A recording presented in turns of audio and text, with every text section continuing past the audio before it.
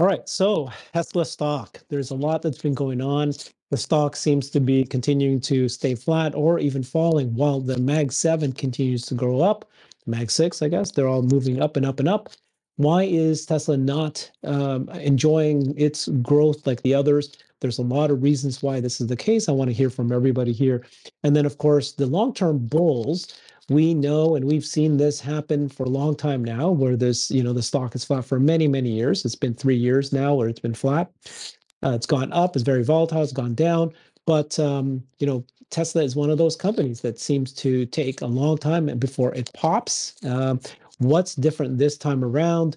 Uh, let's go through the panel here. Alexandra why don't you start us off yeah, um, I can start you off. I didn't have much time lately to look at the at the stock price, which probably was better.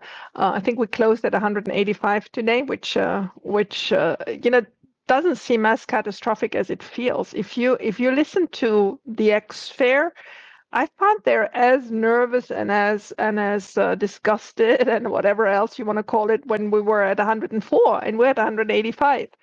So, um, so I'm quite surprised about that. I mean, you all know that I don't care about short-term price reactions, and uh, and I'm actually very happy because today one of my all-time favorites, uh, Professor Aswath uh, Damodaran from uh, Stern, New York, uh, NYU, uh, was for a short time on CNBC because they didn't let him talk enough. But anyway, he he explained that he's back into Tesla he purchased back at $180. Now you have to know he had a valuation model in 2019, and then when 2020 the stock was where he thought, you know, that's enough. He went out much too early. He went out, and then since then has always played. It's too high. It's too high. It's too high. I can't get back in. I can't get back in and he is for me the best professor in terms of, uh, of stock valuation. He, he has a very common sense approach. It's not just spreadsheets and put some numbers in and get something back out. He really thinks it through.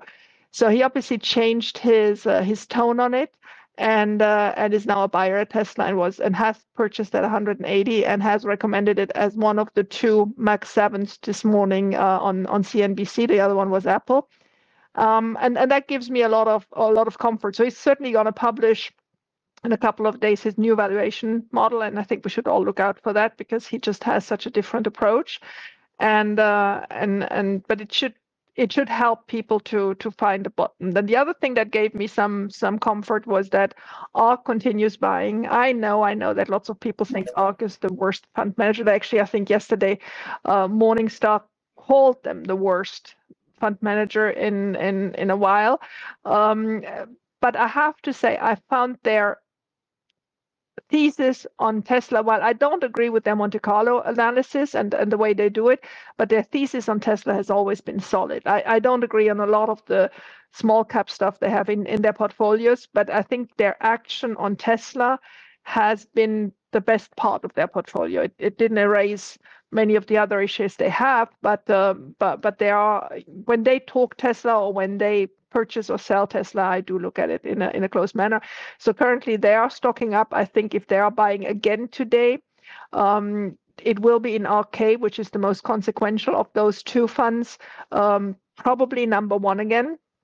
It's between Coin and uh, and Tesla now, and uh, so obviously both of them can can move. But uh, but I do believe there is a possibility that uh, Tesla moves up again its number one position, which would mean it's around eight and a half percent. So there's still lots of room to buy into uh, ARKK, which is the most the highest volume fund of them.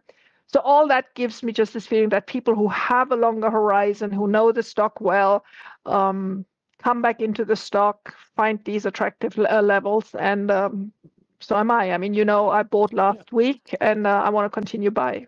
But Alexandra, this is the this is the exact situation, the exact problem here, right? ARK Invest is buying Tesla when they sold Nvidia. Everybody else in the world is buying Nvidia and very likely selling Tesla and moving money there. Um, if you want to respond to that comment, or just move straight to Jeff because he can address that as well. But just quickly, and I pass it on to Jeff. I don't think they were ever really deep down researching Nvidia. I, I mean, they, not for all of their stock, they are doing the same research than they do for Tesla. So they completely missed Nvidia, and they completely missed a couple others. There's one of the small uh, small uh, cap stocks that's now in Chapter 11, and they have 11% of them through all their funds. So that that was a huge miss.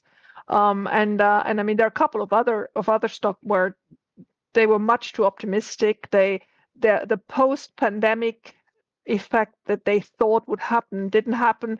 Um, and and then Nvidia they were straight out wrong. So so there's uh, there's no doubt about that, Jeff.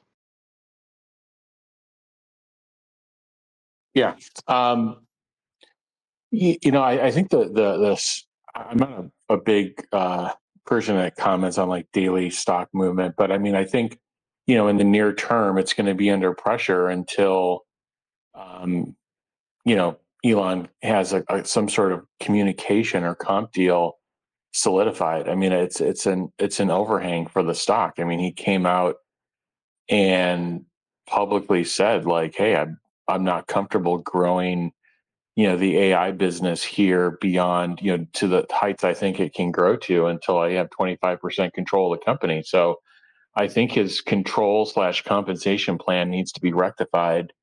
Um, and you know props to you know alexandra and, and amy and, and all the other shareholders that participated in the, the joint effort to you know to speak on behalf of you know millions of shares uh, of the stock i think that's great uh, but i think it like in terms of like the near term action on the stock i mean when the most important person in the company you know has their prior or you know has their prior compensation plan rescinded and probably knew that a couple weeks ago and he said, "Hey, I'm not comfortable growing this until I have more control."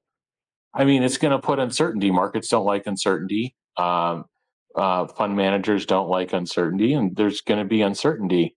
Um, and then the the you know the, the earnings piece. I mean, the earn the earnings themselves weren't terrible. It was kind of the conversation around earnings when you know, they asked for guidance and, and, you know, the commentary was, well, it depends what rates do. You know, no other auto manufacturers you know, they're all subject to rates, but they're all giving uh, guidance. Uh, so, you know, right, you know, right or wrong, I, I think that there's, you know, that's uncertainty. So what, you know, these analysts tend to do is kind of plug in their own numbers. And we talked about you know Alex Potter yesterday, Herbert, and what he's plugging in under 10% growth um, year on year. And you know he took his price target down, although it's you know 20, 30% higher where the stock is today. So it's still a very healthy uh, price target on the stock. Um, and uh, so that's what I mean. I think that's ultimately what it's coming down to. There's uncertainty with Elon. There's uncertainty with the earnings. Now, if you step back and like take the reality distortion field off for a second, you know, you've got the media telling you to like run away from EV. Well, run away from EV, that's 150 days of inventory uh, that were made at uncompetitive gross margins and high cost structures because no one's going to buy those. Run towards Tesla, who actually reduced their inventory, you know, about 10% year on or quarter on quarter, you know, down to 15 days of inventory and then blew you know blew costs out of the water in a favorable direction i would be running towards that. Like that's a you know somebody who you know studies and practice and been a practitioner in supply chains like there nobody even talks about tesla's supply chain and it is it is a powerhouse. It is the number gartner rated it the number one supply chain in auto. In fact you know, there's nobody even on the list of the top 50 besides tesla and toyota. Toyota was down i think in the 40s Tesla was up at, you know, number 14 in terms of all supply chains, all like all types of product lines, consumer products, consumer electronics. You know, Tesla was, you know, ranked 14th. And nobody even talks about that. So what, what does that mean? It means they're turning inventory very quickly. They accelerate product through their factory very, very quickly. Supply chains are really about speed and efficiency and and uh, continuity and they have all of those. So what, what's going to happen for them is, you know, it, if I were to put them on a number, I would say that they're probably going to grow somewhere between 10 and 20 percent uh, unit volume this year.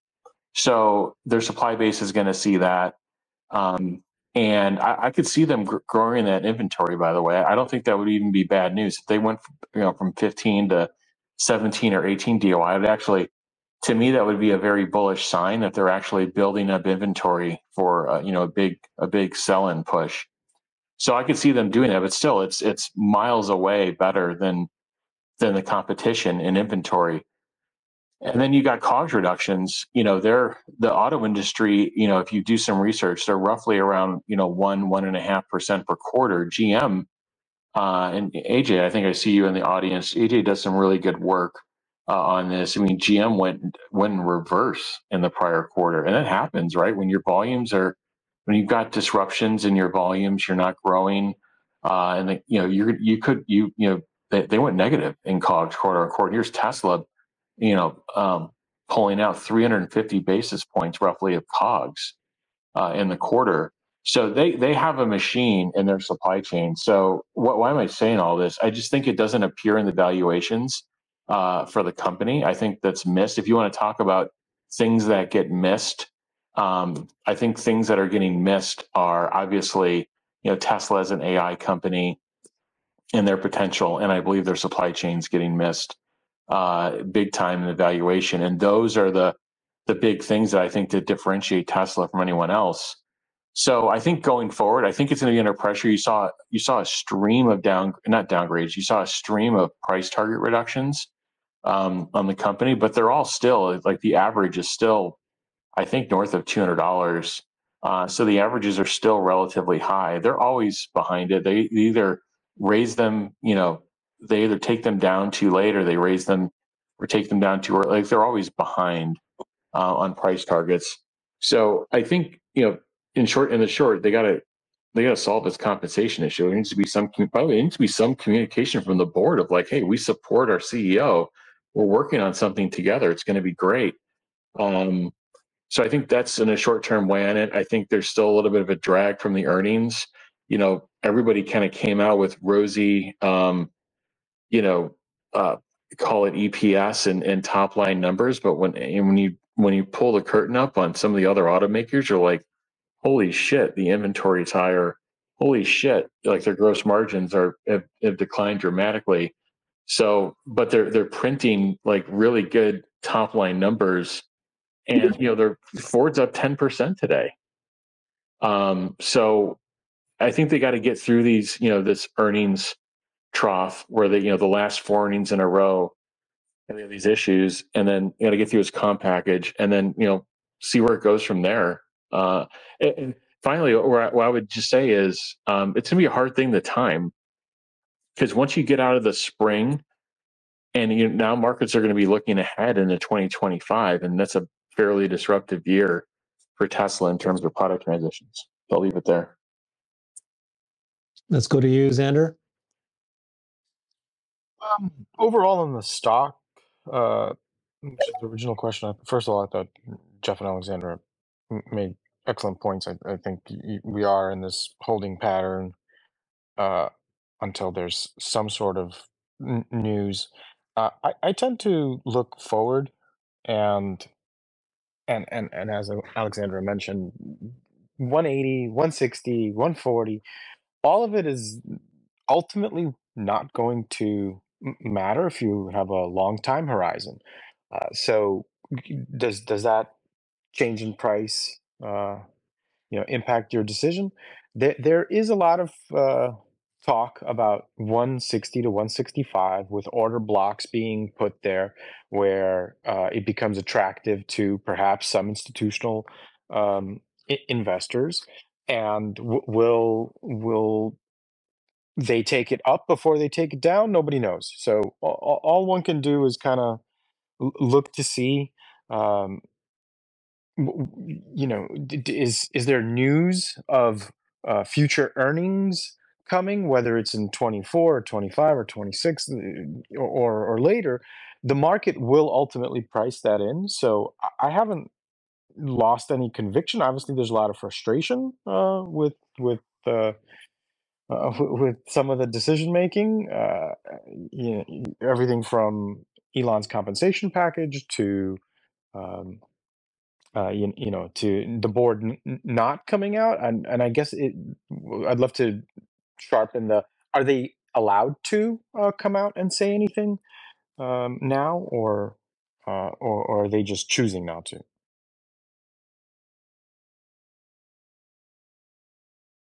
Hey, Larry, you want to jump in? Yeah, um, well, to Xander's question, I think the board would be well advised not to say anything until uh, the company's made a determination of how to respond. And in that regard, they're going to wait for their attorneys to come up with an opinion. It's going to take a while. Um, and I, I just want to say that, um, you know, we have an event coming up, which is the um, annual shareholders meeting. Uh, I think they're going to have to prepare a statement for that meeting. So that's when I expect we would hear from them. Um, it's very hard to ponder what they can do. I mean, I think there's going to be there's going to be quite a lot of uh, legal stuff that goes on between then and now and then, and they're going to have to you know, have a company posture come out.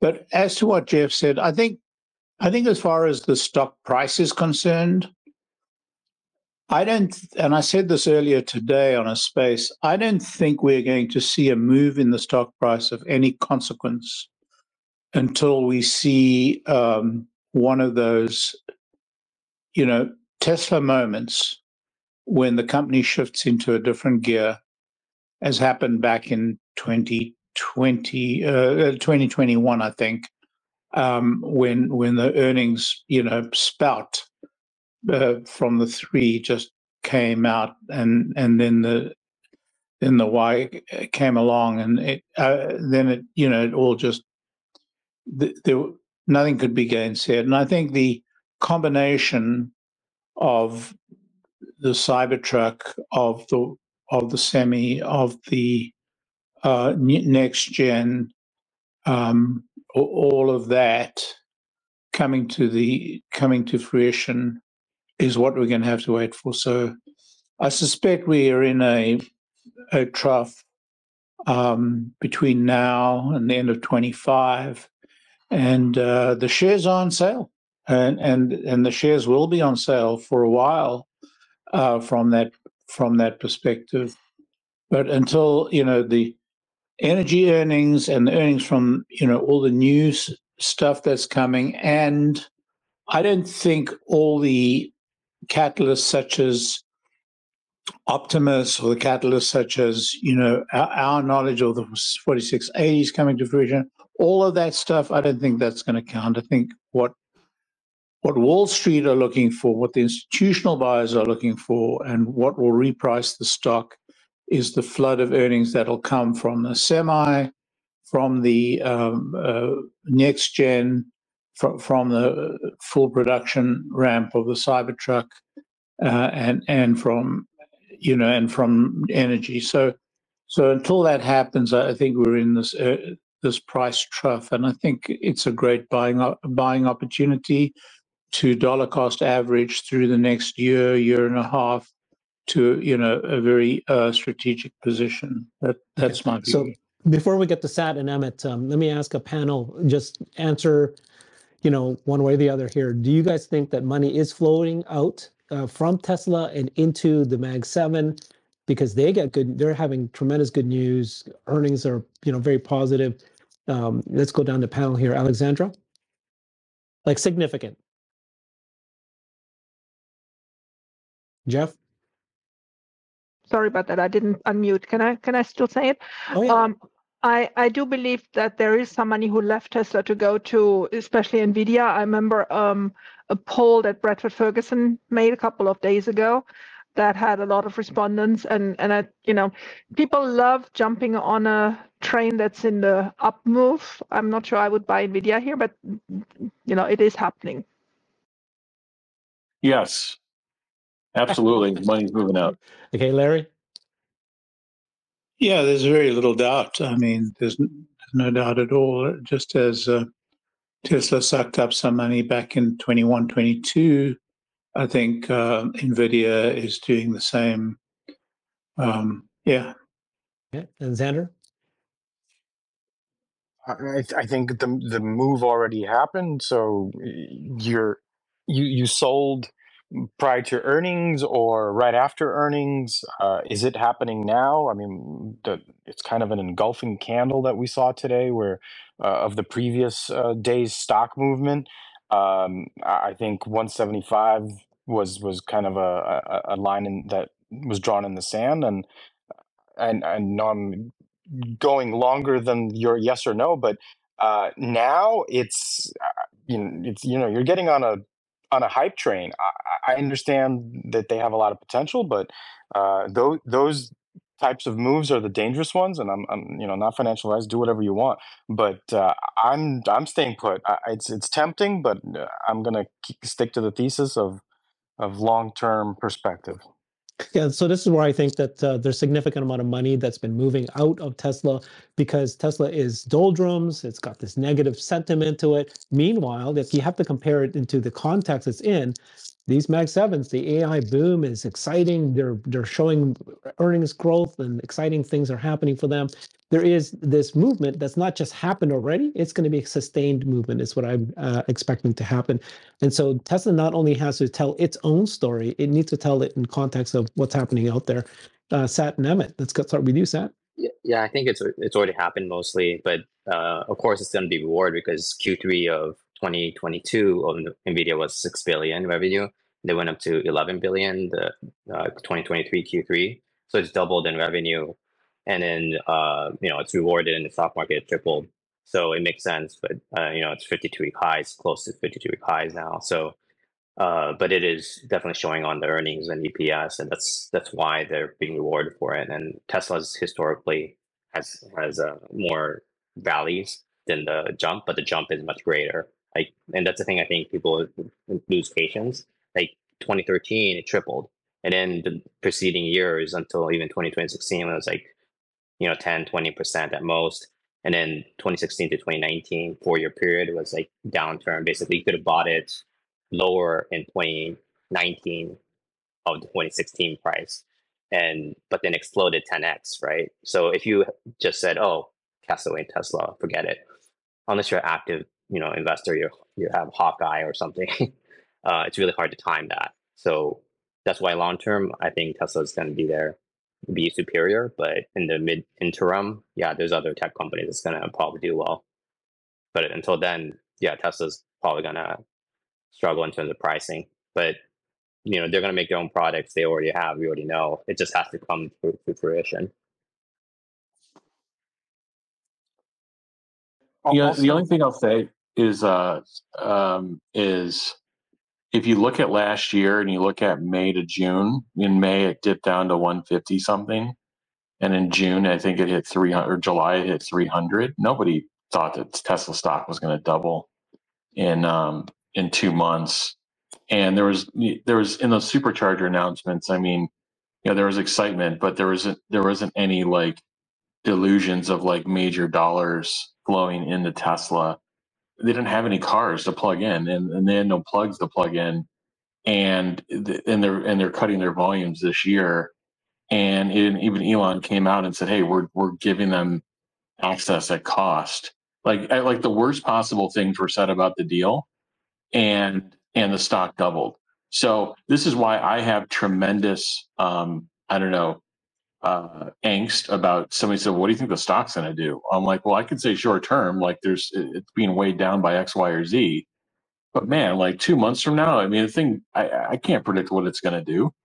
Uh, you gotta have to look at the fundamentals, and you're going to have to, you know, try to understand, you know, what you think may happen. But I, I think that no, nobody's sitting here. saying, "Oh yeah, supercharger deal, the stock's going to double." Like, give me a break. So just have some like respect for this movement and like and just understand that it's, it's fairly difficult to predict. Herbert, also to your question, um, is money coming out of Tesla going into NVIDIA? Uh, how about all the money sitting on the sidelines that's waiting to be deployed that uh, you know is waiting for the Fed to cut or signal to cut? So uh, you, you, know, I, I, wouldn't I wouldn't chase uh, that argument too far, but also um, in in the options world, something to uh, research if you're not familiar are gamma squeezes. And what happens when you uh, buy options and what the market maker has to do in order to hedge their uh, position. And th- that uh, you know cat th- this like um, domino effect uh, if if they change their mind and they say and they decide that it, this is enough and we're going to run in the other direction the, you know it can collapse so fast that you, you want to be aware you know at which time uh, on, onto the hype train did you get on and how much time you have to sit there? Do you have the conviction in nvidia the way that you uh, you know have in tesla? No i get you there's tremendous amount of money coming out the sideline right now and uh, the anticipation of the fed cutting is coming that should benefit tesla this is where i'm saying that elon needs to come out and squarely firmly position Tesla and show exactly that Tesla is a robotics AI company. I was hoping he would do a lot more in the earnings call. I'm hoping that he's going to do that in the upcoming State of the Union presentation. When is that? that. When are we Yeah. gonna have? Let's let's They- him for that. I want to know. Yeah. Well, he hasn't announced it, but hopefully they're going to do it as well as they did the star, uh, the SpaceX one, which is you know really well produced, just incredibly professionally produced. But they need to show that Tesla is a robotics AI company. Otherwise, I don't know who else sees it that way except for us, right? I mean, Her- uh, Herbert, Herbert, do you really believe that an event hosted by Elon will somehow galvanize the stock? no, Because I agree with it's you. never happened in history. You're right. So, so I think that while while I think Elon will have an event, I think Elon will perform to our expectations. I don't think the market will move. I think the market's in a state where it has to see some delivery of earnings above and beyond where the earnings are being delivered right now, and they're coming. Uh, they're coming within a year. I mean, the, I, I I mentioned a litany of real catalysts, not you know, not the sort of Gary Black catalysts of this or that pricing or this or that, but I mean real delivery of new product. And I I, I didn't I failed to mention FSD because you know when FSD actually catalyzes the stock is when we see massive amounts of signups for it. So I I, I think I'm hearing a lot of people with angst about the stock price. I think we should see the stock price as a gift right now because there's no doubt Tesla is significantly underpriced in my mind. It's not investment advice, but there's no doubt that it is the first time, you know, the, last year's 160 and this year's 170 is the opportunity to re up, to add add to the Tesla position.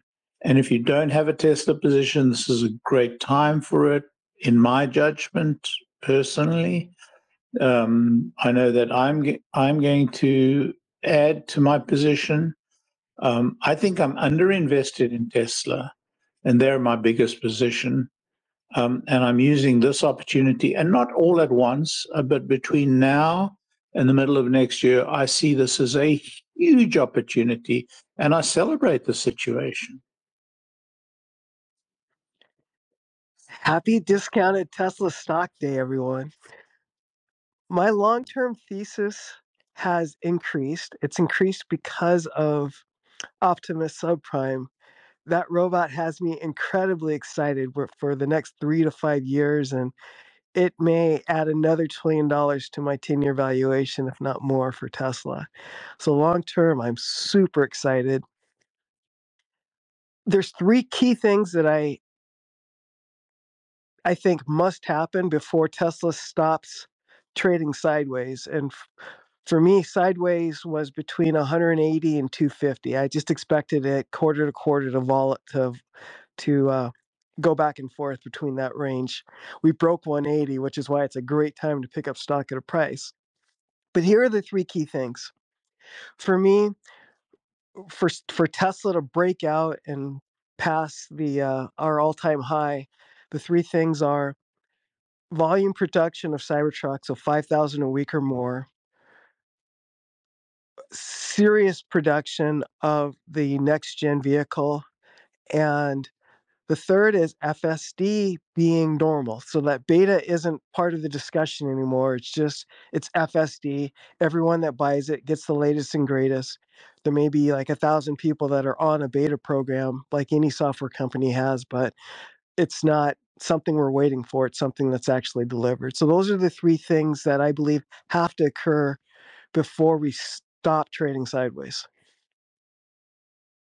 I Emmett, does does your FSD beta title removal mean that there's uh you can go sleep in the back, or what what what does what does it mean when everyone can use it? The the distinction for me is sleeping in the back is is um it's practically robotaxi.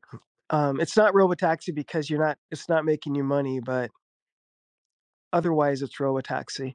No, I just mean that it's software complete. The the money that people have spent on for a long time expecting the car to drive reliably 95 to 99% of the time where it's just really relaxing and really chill under all conditions including shitty weather and so forth um, th- that's what i mean by fsd feature complete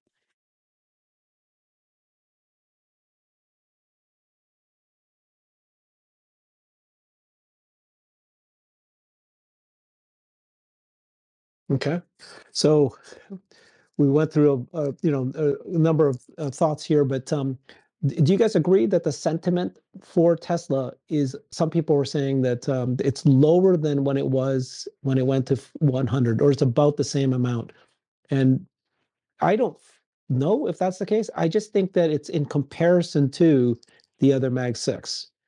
Um, what do you guys think about the sentiment that the traditional, you know, are there, there I, the way I think of it, there's three kinds of Tesla investors, right? There's the long-term people who bought when the price is low and they have long-term conviction. There's people who bought when the price was high and they're underwater right now. And there's people who bought when it was high and they sold and they're bitter, right? They feel like they, they've lost a ton of money. So for these three kinds of Tesla investors, right, they have different opinions but there's a lot there is there a lot of people who are dumping jumping ship and the sentiment is just so poor as bad as it was when it fell to 100 or is this different this time around? I'll, I'll jump in. I think that the sentiment is it's not a hot stock right now. And when when there's a hot stock there's something magical or something momentum based. And we had a nice little bump with the cybertruck and the, the positive press and everything and um and then we had the the negative ruling and uh the truck hype is is dying down a little bit so it's just not a hot stock right now i don't expect it to be a super pop popular meme stock for a while but it's it's an awesome stock I think there's a gap between the tech companies doing really, really well and then Tesla not doing as well. And I think that there's a certain level of impatience, I think, in, in the sentiment. Completely agree with you, Seth. I think lots of it is people frustrated that they weren't on the NVIDIA train. I mean, that's just not how how it works. I, I personally could not get out of Tesla with the position I have. I'm, I'm adding because I have FOMO to miss that moment. Larry is very right. We may have not a moment at all this year, but suddenly something may crystallize, and that's the day it happens. So if you're a shareholder on long term, it doesn't matter whether it's every day a little bit or whether it's a huge step at one moment. But obviously, for people that are of a shorter horizon, um, it's frustrating. There, there's no doubt about it. Yeah, the sentiment is um it was definitely on the negative side. There's there's indexes too, like on you know some of the trading sites that, that talk about the sentiment. Sentiment's poor. RSI is is super low. That's just a mathematical equation of of recent buy, buying patterns uh, of the stock. And uh, yeah, I mean, so you're going to need uh, a near term catalyst to shift that. Um, you know, it could be an, an updated, you know, statement from the company. It could be, um, you know, Q1. The, the to me, the near term catalyst is Q1. If they have strong, you know, strong volume and sequentially improving or steady gross margins, I I think that's a that's a big message back to the marketplace. I mean, we're halfway through the quarter now, and I'm fairly confident that right now they're in a pretty decent spot on gross margins. Now, there's half the quarter to go. Uh, you know, so they could do a number of different things to change that. But um, if to me, to change the sentiment, you come, you know, April. Well, first off, you'll have a you'll have a delivery report the first couple of days of April, which isn't that far away. You're talking less than eight weeks, and then you're going to have an earnings call three weeks after that. So I think, you know, that to me could be a near term catalyst. If if if the board and Elon come out and say, "Hey, we've come to terms."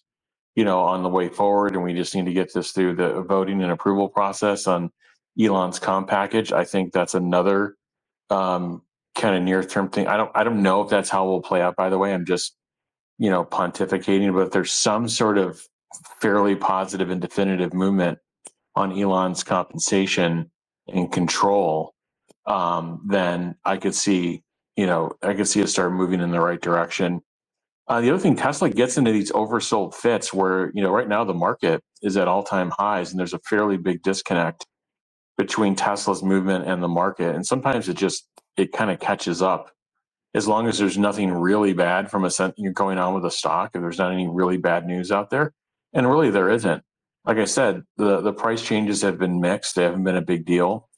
Uh, and, uh, and, and I even, I talked about this afternoon with Gary about it as well. Like these, these movements, both up and down, aren't a huge deal. And uh, you know the China numbers are pretty strong. Um, so I, you know, a strong Q1 could really flip the sentiment on this stock pretty quickly. Well, let's let's. So last week we had the uh, ruling for t- uh, Elon's uh, comp package. The week before that, you had Elon talk about his tweet about wanting 25%. Don't you guys think that this has to be resolved before any kind of catalyst could actually move it. A few of you have already kind of mentioned that. And it could be that this is not resolved for many months from now. Not, I mean, it could be resolved within a week, but it could also be something that just sits there for a long time, right? Yeah, I said it. It needs to be resolved.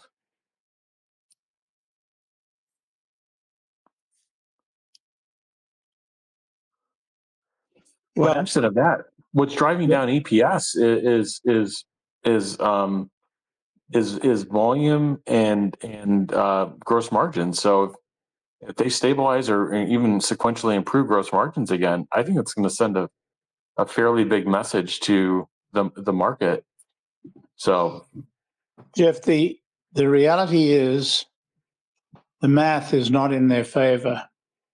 So if if you follow your line of reasoning and they do improve their margins uh, marginally, um, and they achieve like a half a million deliveries or a little bit more, if you look at the EPS on that, it's not a lot.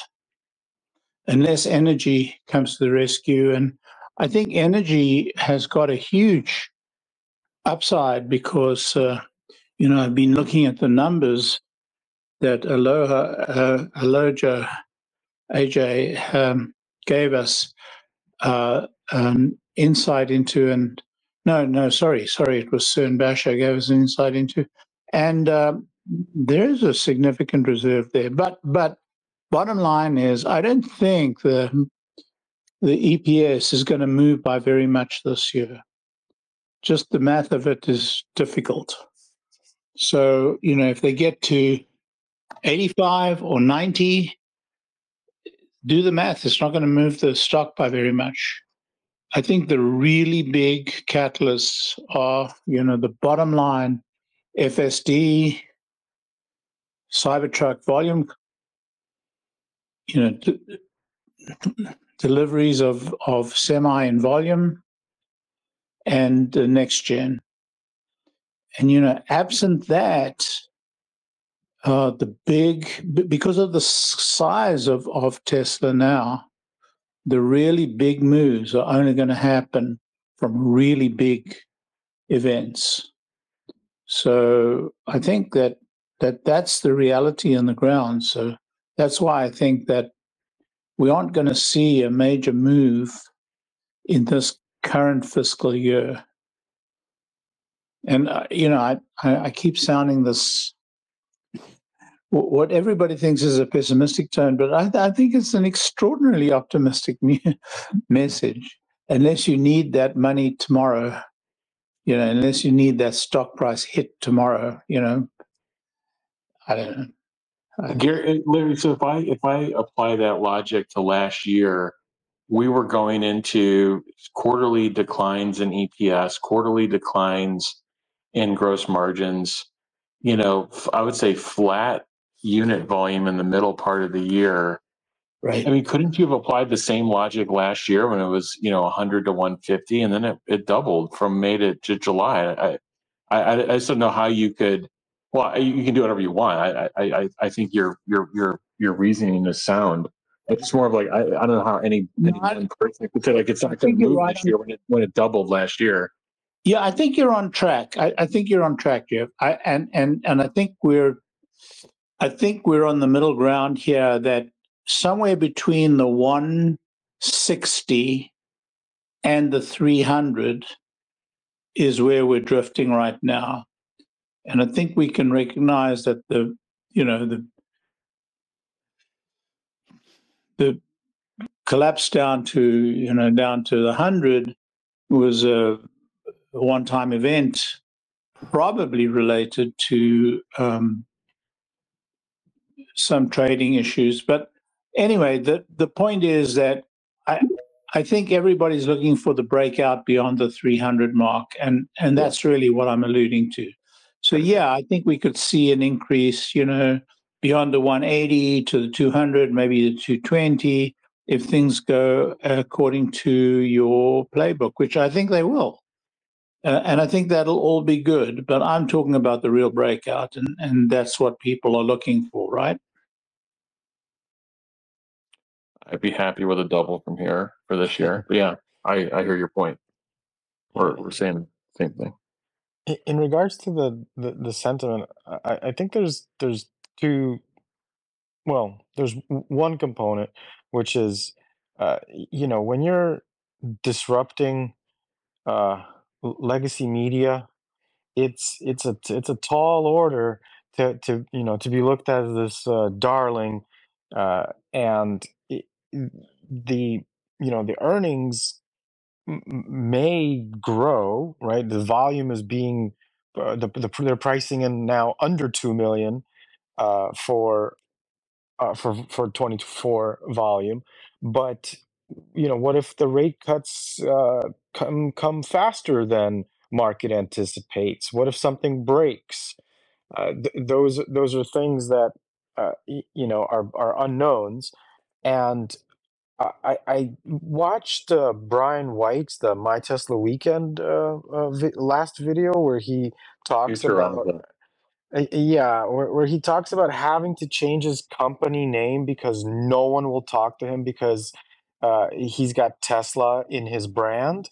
And like w- when you think about the the, the how sad that is when when the, the reality is uh, completely different from what's being portrayed in in in aforementioned legacy media.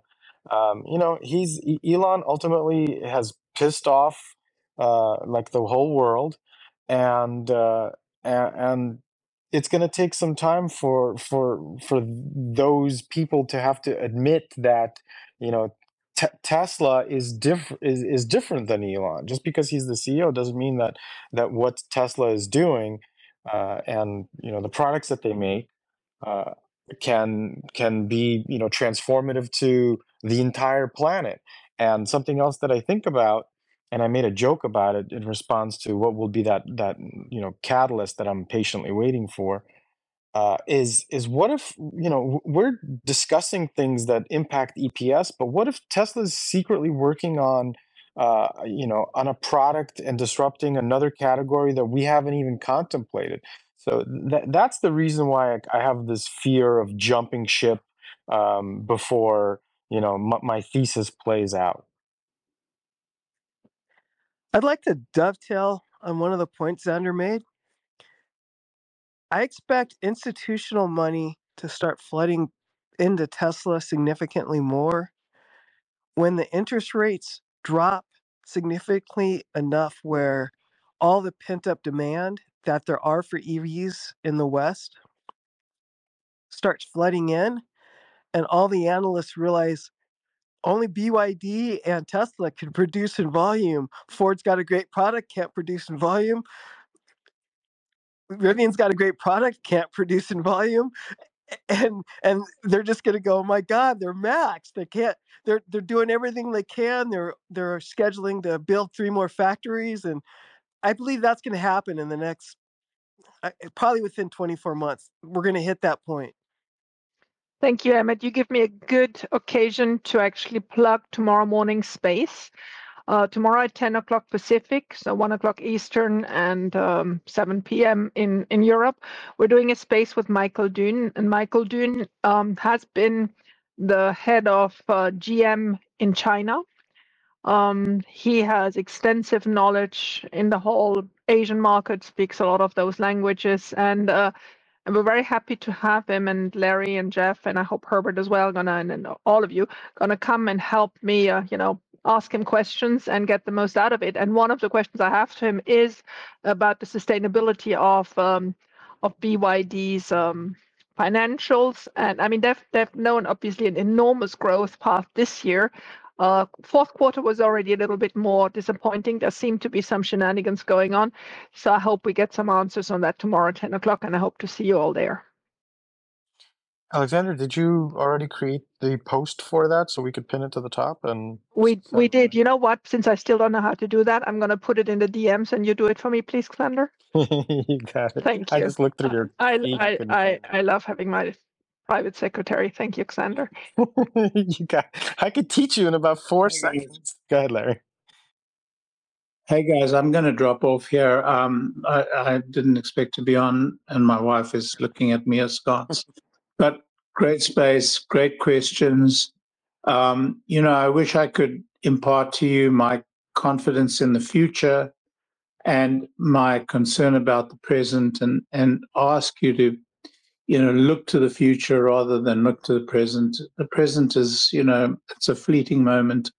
Um, this is going to be an, a great ride, I think personally, and I'm I'm I'm on it. And you know, I'm a little bit older than all of you, probably most of you put together.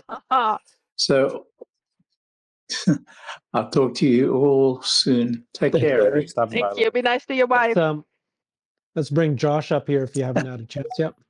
Yeah, thanks. I just uh, I, I, my sense is that yes, sentiment is as low as I've seen it in in years. I think it has to do with Elon and the the, the rumors of him leaving. You know, Warren Redlich on on your show, uh, Herbert, yesterday or the day before, talking about not only suggesting that uh, that Elon is going to um, XAI, but that he should. And it's just the, uh, I'm, I'm looking at my YouTube subscriptions for uh, you know Tesla channels, and nobody's posting. It's like there's this eerie silence. This is weird, and it's unprecedented. It's it's not precedented in the last couple of years, even when we went to 100. And I think that one of the things that can stop this, in my opinion, is for Elon to reassure us that he's here for the long haul, that he won't let the judge uh, ruin his his legacy, and that he'll fight. He'll fight back, and he is a fighter. So I disagree with Warren on that point. I think uh, that's Elon's mindset.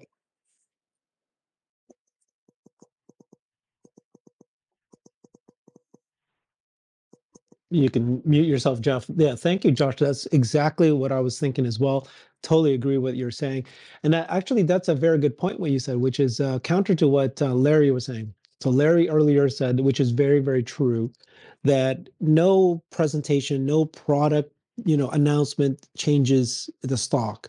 But in this presentation that's coming up with it, if he does just commit and say, I am in for long haul, which he did before. Remember when he said that uh, I'm here to stay with Tesla for a long time. I want to see, I want to make sure that I get to see through the the AI piece that's working. He needs to confirm that. I, I totally agree with everything you just said, Josh.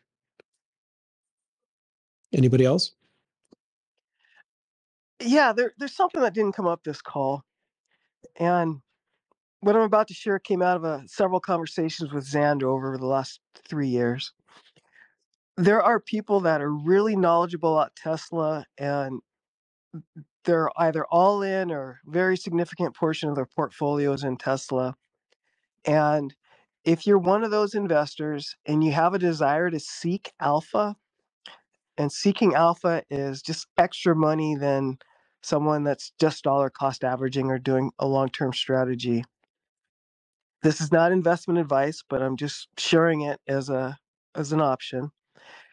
In an IRA account, meaning in an account that you don't get taxed for swing trading, if you through your own analysis establish a low and a high, you expect the stock to move over a period of time. Did we lose You? Or can in the matrix? you can buy and sell. Uh, for example, let's say at 240 over the last six months, you expected the, the stock to hit a high of either 240 or 250. You could have a sell order in ready to go. And if it dropped below 200 or 190 or whatever, and you would have been able to make money on that spread, seeking alpha, but not impacting your your dollar cost averaging activity, but still getting some extra money. You have to pay a little bit of taxes on it, but it's just alpha. I just wanted to throw that out there.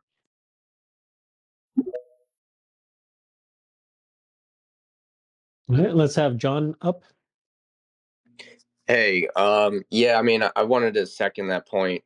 Uh, I don't know who made it talking about uh, Elon and how he's dealing with, uh, you know, with this whole 55 billion, uh, the court case and all of that. And I just feel like there's a lot going on in the backgrounds right now um, with Elon and his lawyers and, you know, the board of directors, and they're trying to figure out what to do with this. And I just think it's, you know, there's almost a 0% chance in my mind that Elon doesn't get the 55 billion or that, you know, we have to give it back or whatever. Um, I mean, it's just, you know, it really is unprecedented what uh what the judge, you know, kind of determined. Um, so I mean, you know, it's gonna get appealed and Elon's gonna deal with it and Tesla stock is probably gonna trade sideways. Um, I mean, we're probably near the lows, you know, like maybe we go down to the 150s. Uh, but like the 160s is probably, you know, a good area to get in. I mean, obviously not financial advice and all that, but um, I mean, I would not be surprised if we just trade sideways for, you know, majority of this year, you know, and if we get interest rates come down, that'll probably push us back up to like the 200s. Maybe we get back to like the 260 area, but realistically, when we're under this 260 zone, you know, then it's just sideways. But really, it's what happened with the court case. I think is was just extremely unprecedented. I think that came out of left field. Um, you know, that's just my opinion. Yeah, agree, John. So, you know, one thing you just said now is that people are, and I've heard lots of say that, which is I see the stocks trading sideways for the rest of this year or February until we hit 260. It's going to trade sideways. What's uh, the panel's thinking about that kind of uh, sentiment? Much too early. Wow. Much too early to know it. Something can quickly change. Interest rate comes come down. The mood today really gives me that sentiment of when everybody else is fearful, be greedy. I mean, if you listen to us, we're all and and I don't remember who just said that earlier, but completely right. Very few videos going out. I mean, Herbert is doing his duty, no doubt, but you know, much less than usual, much less cheering, and uh, and you have the feeling this mood is so um so low. That's usually the moment it turns. So I I mean, we're beginning of February. There's still nearly 11 months to go. There are lots of things that can happen. Yeah, to what you said, Herbert. I mean, what do they have? A crystal ball that uh, that we don't have? It's it's impossible. Nobody knows, and those that pretend to know, uh, y- you know, I could look at all the technicals and financials, and and there you can go in either direction. Uh, bad news can come out. War can start. There, so you, you know you have to weigh risk tolerance uh, and and you know risk reward and there's so many factors to, to making that kind of a decision but ultimately uh, it it might just trade sideways for you know for for a year or it'll be range bound and it'll trade between uh, you know some number below and some number above it's it's Yeah, really impossible to tell That is what I think John said, though. I'm just to be fair, right? He he, he said 260 unless it breaks to 260, it's going to say trade sideways. And then what people what he means and others have said, which you know, there's a view that earnings is there. We're not going to see earnings change very much. You can you can certainly progress uh, forecast that out for the rest of the year. Um, and so if that doesn't change, like uh, you know, if you don't believe FSD is going to show up, if you don't think Bot's going to show up this year, you don't you know the Cybertruck's not going to gain progress until the fall scale to the following year. And that's what they're saying, right? Uh, uh, barring something, you know, just out of the blue coming, this is what they see for the rest of the year. sure that's fair Uh, if I think could jump, more, I was gonna say, I think a more informed conversation is, uh, hey, Amit, I was gonna say, I think a more informed conversation, again, is, is getting some intelligence around um, units, you know, in the near term is, is, are things on the upswing? What are lead times looking like? Um, if there's any supply chain intelligence that could be gathered, you know, to understand, you know, how things are going with the point of sale credit. Um, you know, I think, I think we're a little bit information starved. I think some of the stuff out there is, you know, the same stuff we're doing over and over again. I, I think we need some, some, you know, some fresh intelligence. Cause again, I think, you know, if, if, if there's any surprise in Q1 on, you know, gross margins or, or units, I think it's, it's quite frankly off to the races. But again, making any near term prognostication is, is going to be difficult. And again, I think there's this weight, you know, on the stock until Elon's compensation package is, is firmly dealt with. Um, but yeah, so I, you know, sideways. I think you just heard Larry sideways. Sideways to him was, you know, you know, under three hundred dollars. I mean, that's doubling, almost doubling from, um, or you know, it's a big jump from here. So, you know, we'll, we'll see. I, I, I, it could be, yeah. I think range bound is a good term, but I think it's a fairly, I think it's a fairly wide range. You know, until again we get to some more of these meaningful catalysts. We should welcome Hamid in. Thanks for joining.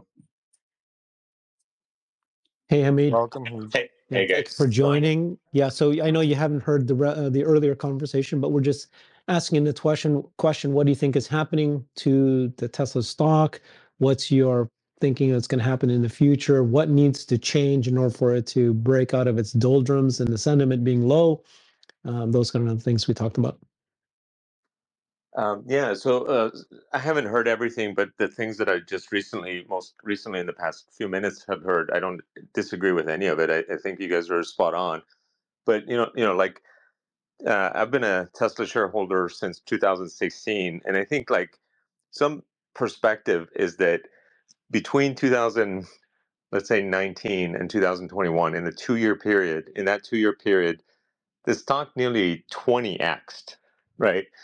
And and I think that like should it have 20x is the big question. I mean, it definitely in 2019 it was definitely way undervalued, but by the time it had 20x in 2021 in 2 years was it a little bit overvalued? And I, and I think, you know, I got a lot of criticism for saying I think the stock has gotten ahead of its current performance for a few years. And and uh to me, a lot of its sideways movement for the past three years is just because it got ahead of its uh, its current performance, right? Like uh, it revenues and profits have not caught up with justifying a trillion dollar market cap. Now, today it's roughly a six hundred fifty billion dollar market cap or whatever it is. It's much more justifiable. I think like this is about the price where it should be for the kind of potential that it has and um, and the fact that you know it still is not out of the woods with respect to ramping and interest rates and uh, you know model 3 and y seem to have sort of like peaked in terms of their uh, quantities that are uh, being both produced and uh, the demand for them so you, you know without cybertruck ramping and without new uh, products, you don't see a lot of revenue growth in the in 2024, for example. So, you know, to me, the price seems pretty justified, right? Right? Like, but when you take a longer term approach of let's say five years from now, um, you know, I think five years from now, Tesla is going to be much much bigger company than it is today, uh, easily uh, maybe three times as much revenue, and then it would be hard to justify, you know, today's price, right? If you go out five years, so you know, with with with companies and stocks, they, the their stock price often comes in spurts, uh, and uh, the spurt is based on you know the, the that moment's popularity of the stock. Um, but then eventually it comes down to justification based on actual revenues and profits. And I think that um, today, a hundred and fifty to two hundred dollar price point is roughly justifiable.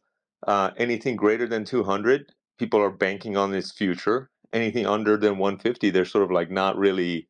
Uh, they're just discounting its future in my in my view. So, you, you know, I think this this is how I would look at it. I would start accumulating if it falls below that, and I um, I haven't been selling at, at all for the past couple of years, but I haven't been accumulating much either. So that's the way I've been looking at it. Go ahead, Seth. Yeah, I think though in the 2019 period is very very specific to Tesla is that it's the first time they've continuously gotten a profits, and that's why it warranted that kind of jump in the stock because people critics were saying basically Tesla's not profitable for a decade is essentially, and they were finally able to become profitable and do that throughout continuously quarter over quarter the entire pandemic when all the other OEMs were going negative 25 33%. So there was a reason why it jumped that much. And they have a really long product line. It's just not going to show up on EPS. And that's what the market likes to value the things that's already happened or just about to happen. And you see the other OEMs, they're going to do great short term because they cut down their EV programs that cost the most money. So, of course, their EPS is going to look great. But do they have a product line that's going to be really strong further out? I don't see it that way. So, in the interim, it's going to be that way. The other part mm-hmm. is every time Tesla has gone into some major new platform, it's always gone down. like production hell for Model 3 was insane. Like it was like they almost went bankrupt at the same time too, right? So there's a reason why it goes down. But the Gen 3 platform is a couple years out. So it's going to be a little while before we see anything that's significant jump 3, 5, 4x kind of thing, if it even is in the cards. But I don't I don't foresee it like right now, and that's why I've never expected that with Tesla to give you that kind of return every other year. Hamid has made a really great point, but I do want to remind everyone when Tesla was rocketing, interest rates were incredibly low. We were expecting multiple factories to go online. Demand was insane. And if we had kept manufacturing and producing at full velocity and growing more factories, that spot stock price did make sense. Plus, the next, the twenty-five thousand dollar car was being discussed, the Cybertruck was being discussed, and we thought they would be here by now. Back then, when the stock had hit 12, 12, 1260 or 1243, whatever it was. Yeah, and then macro hit, and so then they price cuts. Okay, we're just talking history now. So, but the future is the macro is going to come back, and you're going to have interest rates cuts. And why aren't people factoring that in? There's going to be recovering margins over the next few quarters, not only because of cost of goods, as you see, Giga Berlin is now at six thousand. They're going to head towards ten thousand per week, and then you have the interest rates go down. When that happens, now I, I think most people think, right? Do you guys agree it's not yet built in? The, that that this you know banking that fact that the interest rates are going to fall. So when does that get built in, or when does that start getting accounted for? So some some of that I would argue that is being built in, but there's you know like like it was just being discussed. There's also shortfalls that have happened that were not built in, and that now too is being built in, right? So by this point in time, Cybertruck was expected to have already scaled. It's not. Uh, it ex- it was expected to be lower priced, higher quantity. Uh, it's not. It's higher priced, lower quantity. It has a lower range. Um, the Roadster, the Semi, these were supposed to have real numbers by 2023, 2024 timeframe. So a lot of these shortfalls have happened, and then Elon himself has not made it easy with respect to the distractions that he creates with respect to, uh, you, you know, whether it's uh, his focus on X, which I love personally, but like you, you know, it does create distractions and drama, right? Uh, and those things are all negative factors that are getting weighed in as well. Don't forget, Tesla is still being valued at much higher than all other co- car companies. So uh, it's Oh, not being viewed as a car company by anyone. So a lot of this stuff is already being built in to stocks to the stock price of Tesla. Yeah, I I mean, I I put my thumb down there because I've listened to you for for many many years, and um, and you know, it turns out you were correct in in stating certain things like uh, you know that it's outgrown or, or it went a little too far, and it was uh, above you know 200 day moving average by a lot. Um, but at the same time, you know, th- like this argument of uh, the car company, like as soon as I hear anyone compare to it, so apologies on the trigger happy on the on the uh, thumbs down on the car company. Uh, the reality is, is you, you know, they have promised FSD for years and years and years, and that's going to be reflected in the price. And at this point, to answer your question, Herbert, is you have to show you have to show that you can deliver. Um, you know, Texas is supposed to ramp. Uh, you know, Berlin's supposed to ramp, and um, the downturn in the economy and inflation uh, has really uh, impacted uh, Tesla. And th- th- but that is the the exact reason why uh, I, I have fear of selling and running to NVIDIA because you can have a very quick uh, momentum shift once some of these positives start actually uh, going in the right direction. And then, you, you know, there's going to be FOMO yet again for what Tesla will become because they are not a car company. They are something completely different. Just to clarify one point, I, I agree with you. It's not a car company. I'm saying that's already baked into the stock price because, uh, you, you know, Tesla is valued at far greater than most car companies. In fact, it's valued at greater than most other tech companies and software companies that are public as well. You Um, mean on at PE ratio? uh, price revenue ratio, right? So uh, certainly on PE ratio, but uh, price sales ratio, like you know, fast growing tech companies get uh, somewhere between four to 10 times um, revenues in terms of their valuation. And so is Tesla. So despite having much, much lower margins, most sort of software tech companies have, you know, you know, 60 to 80% margins. Tesla has like 16, 17% margins right now. So it is being valued as a tech company. And I'm saying that's already baked in at current valuations. Yeah, yeah, I, I I got that. Uh, I just mean that you know which which parts of of the business are, uh, you, you know, of the tech companies baked in. If FSD it hasn't delivered, if the take rate is tiny, then you know, or the software once they do have robo taxis, you know, do they make a a, a vision headset uh, for the back of the car and decide to go down down that path um, to augment reality as you're chilling in your robo taxi? Hey, Omar, let's uh, have you jump in. We've just been talking about the Tesla stock. Any comments on why do you think the sentiment is low? Do you think money's flowing out to Nvidia compared to DI Mag 6? Yeah, I mean, um, you know, just seems like a lot of people just going, "Oh my god, the stock is down, everything's terrible." When the reality is things are actually going pretty good. Okay? You may not see it reflected in the stock price, but beautiful things are happening. The world is transitioning, autonomy is progressing, and um yeah, I think people are just kind of lost their minds a little bit. You know, they're just staring at the stock price all day, crying, trying to figure out what it is. Oh, Elon tweeted, there's this.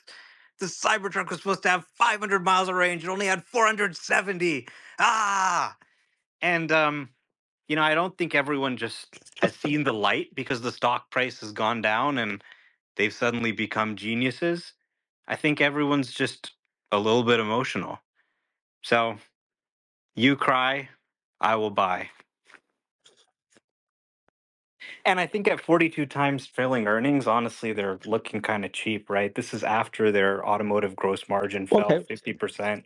Yeah, but Omar, I guess what the conversation we had earlier was it's it's one thing about where Tesla is today, but in context with the other Mag 6, specifically Nvidia and others, you know, who have better PEs, who have better uh, PEG ratios, this is where the and then as the money's flowing back in to invest, they're choosing to do the one of these instead of Tesla because Tesla's story is kind of damaged right now, especially with Elon's uh, comp package and Elon's um, you know the 25% thing and concerned whether or not he's really committed those kind of things right Well, I own all of the Mag 7 so- stocks, so doesn't really matter to me. Nvidia's going up, that's great.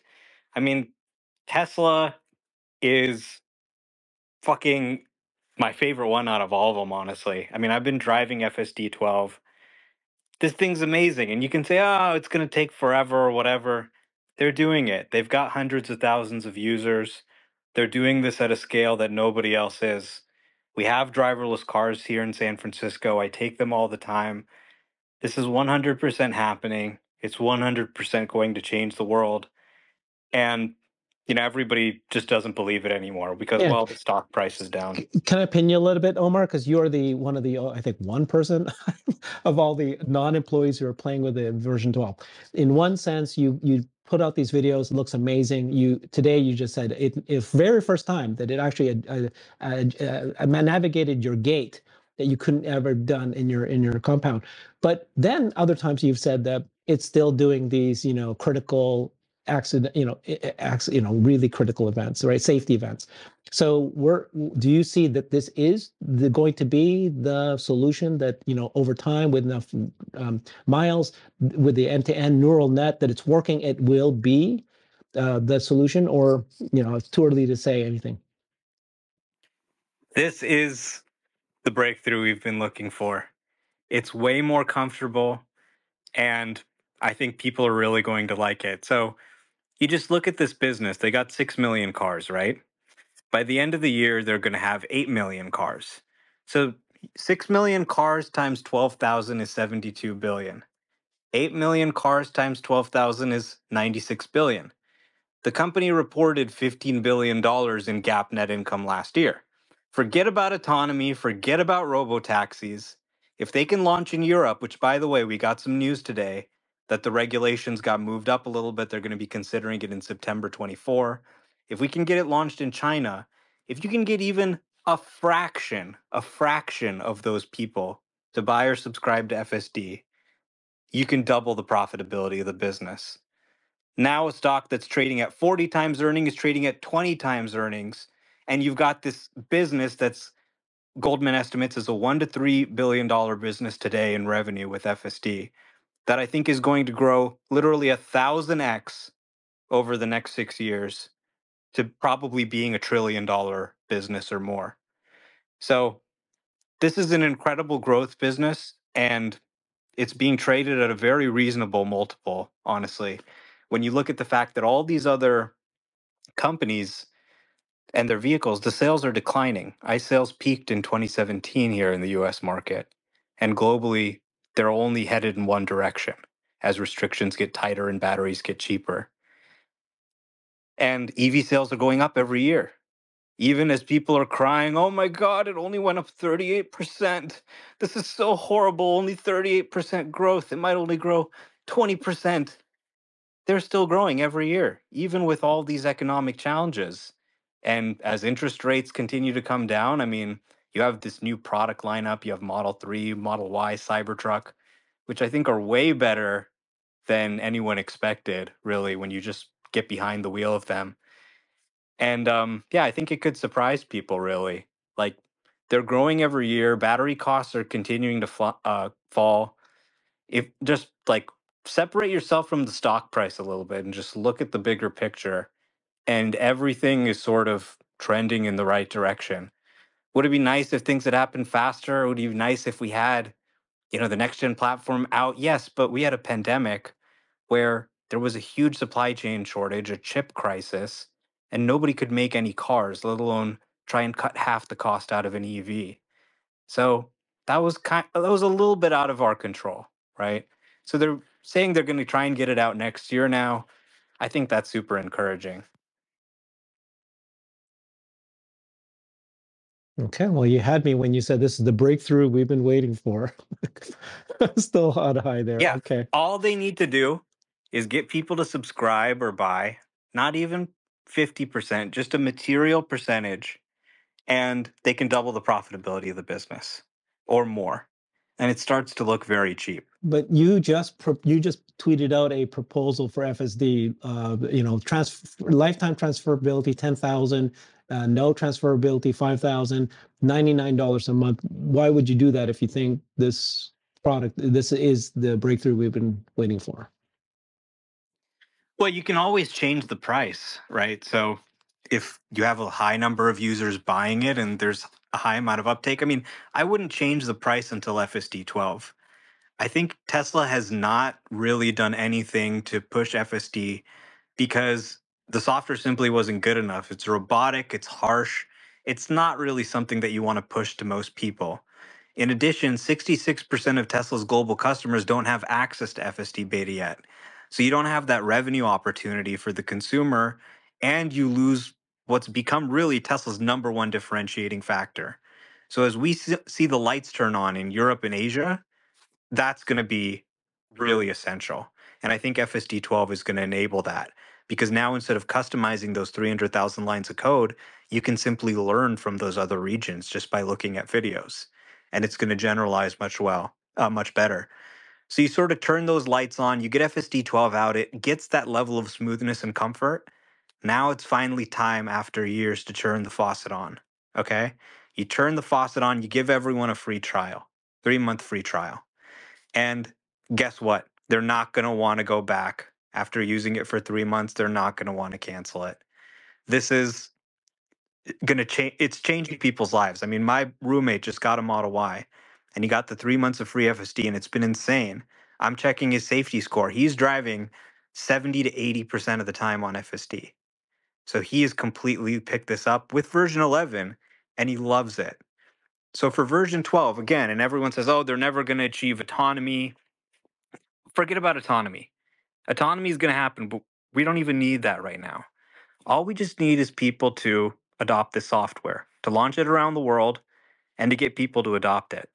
And if they can do that, they're going to build a large base of recurring revenue that's going to protect them from the natural cyclicality of the auto market.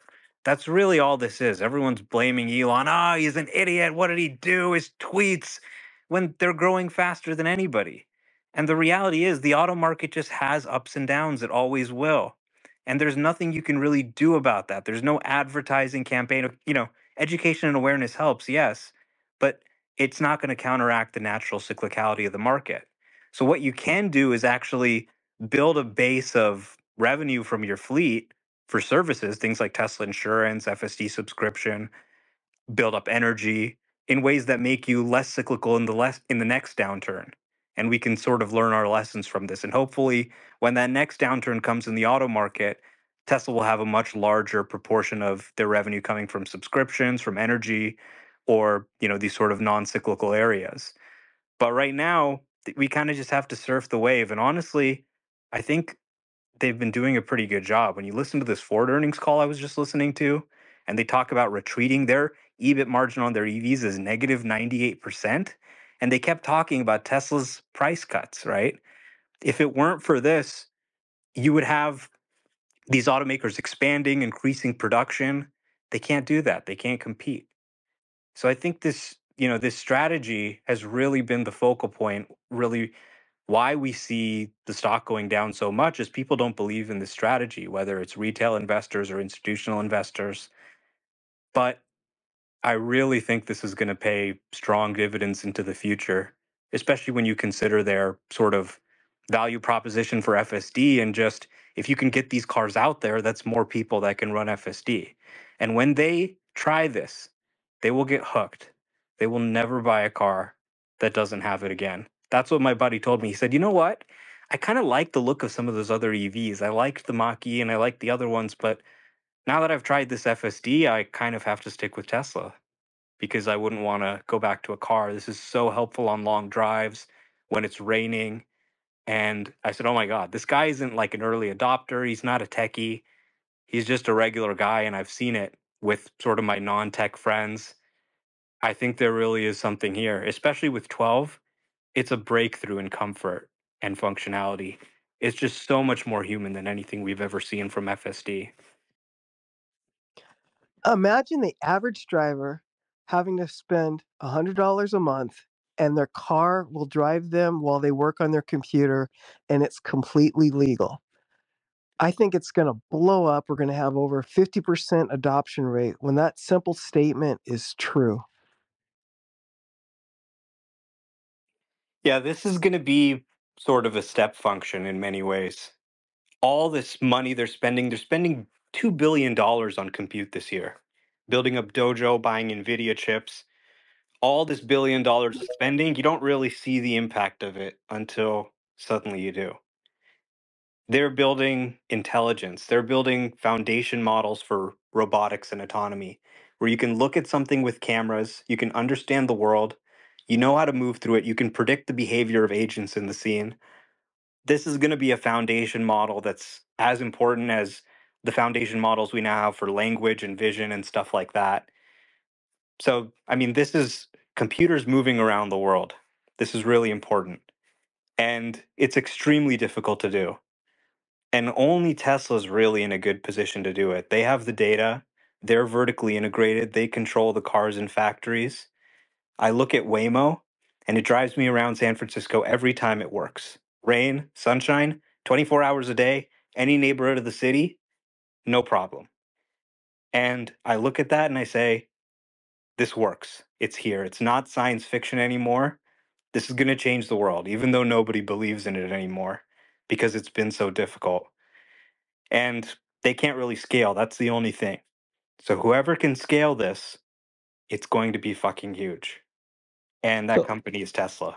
Omar, are they just waiting for these critical safety, you know, bugs that are still happening to resolve before they're going to spread this out to more people like me to be able to use it? And are you still thinking a couple weeks, like Elon said, or is it might going to be take longer than that? Yeah, it was actually supposed to come out, I think, last weekend, but they had to apply some of these changes for the recall before they got them out. So Chuck Cook just uh, posted a video. He said the Tesla testers were outside doing his unprotected left turn, making sure it was working well. So that kind of suggests that they're maybe gearing it up to send to early access testers, hopefully as soon as this weekend. I mean, my dad tried it yesterday for the first time driving with me, and he said, Hey, I don't see any issue. They should send this out to people. Interesting. Okay, let's get to Lightspeed. He's had his hand up, or Light Spirit. Sorry about that. You've had your hand up for a long time. Please join us. Yeah, thank you. I kind of forgot what I was going to comment on. It had to do with something else, or one of the other speakers earlier talking. Um, I wanted to mention I think it's about, something about interest rates. He said that he thinks the interest rates are coming down, and that's going to spark counter stories that the interest rates are probably going to stay right where they are at five percent because that's considered what is now normal or what was normal before, and if he thinks it will stay there. So I wouldn't count on that as being a factor to bring stock to higher highs. And that doesn't matter anyway. Just like what Omar was saying, I mean, it's it's already a great value as it is, and the only people that care is those who want to trade it. And trading is, you know, you you got a lot of risk involved there, and it's you, you have to take it as it comes.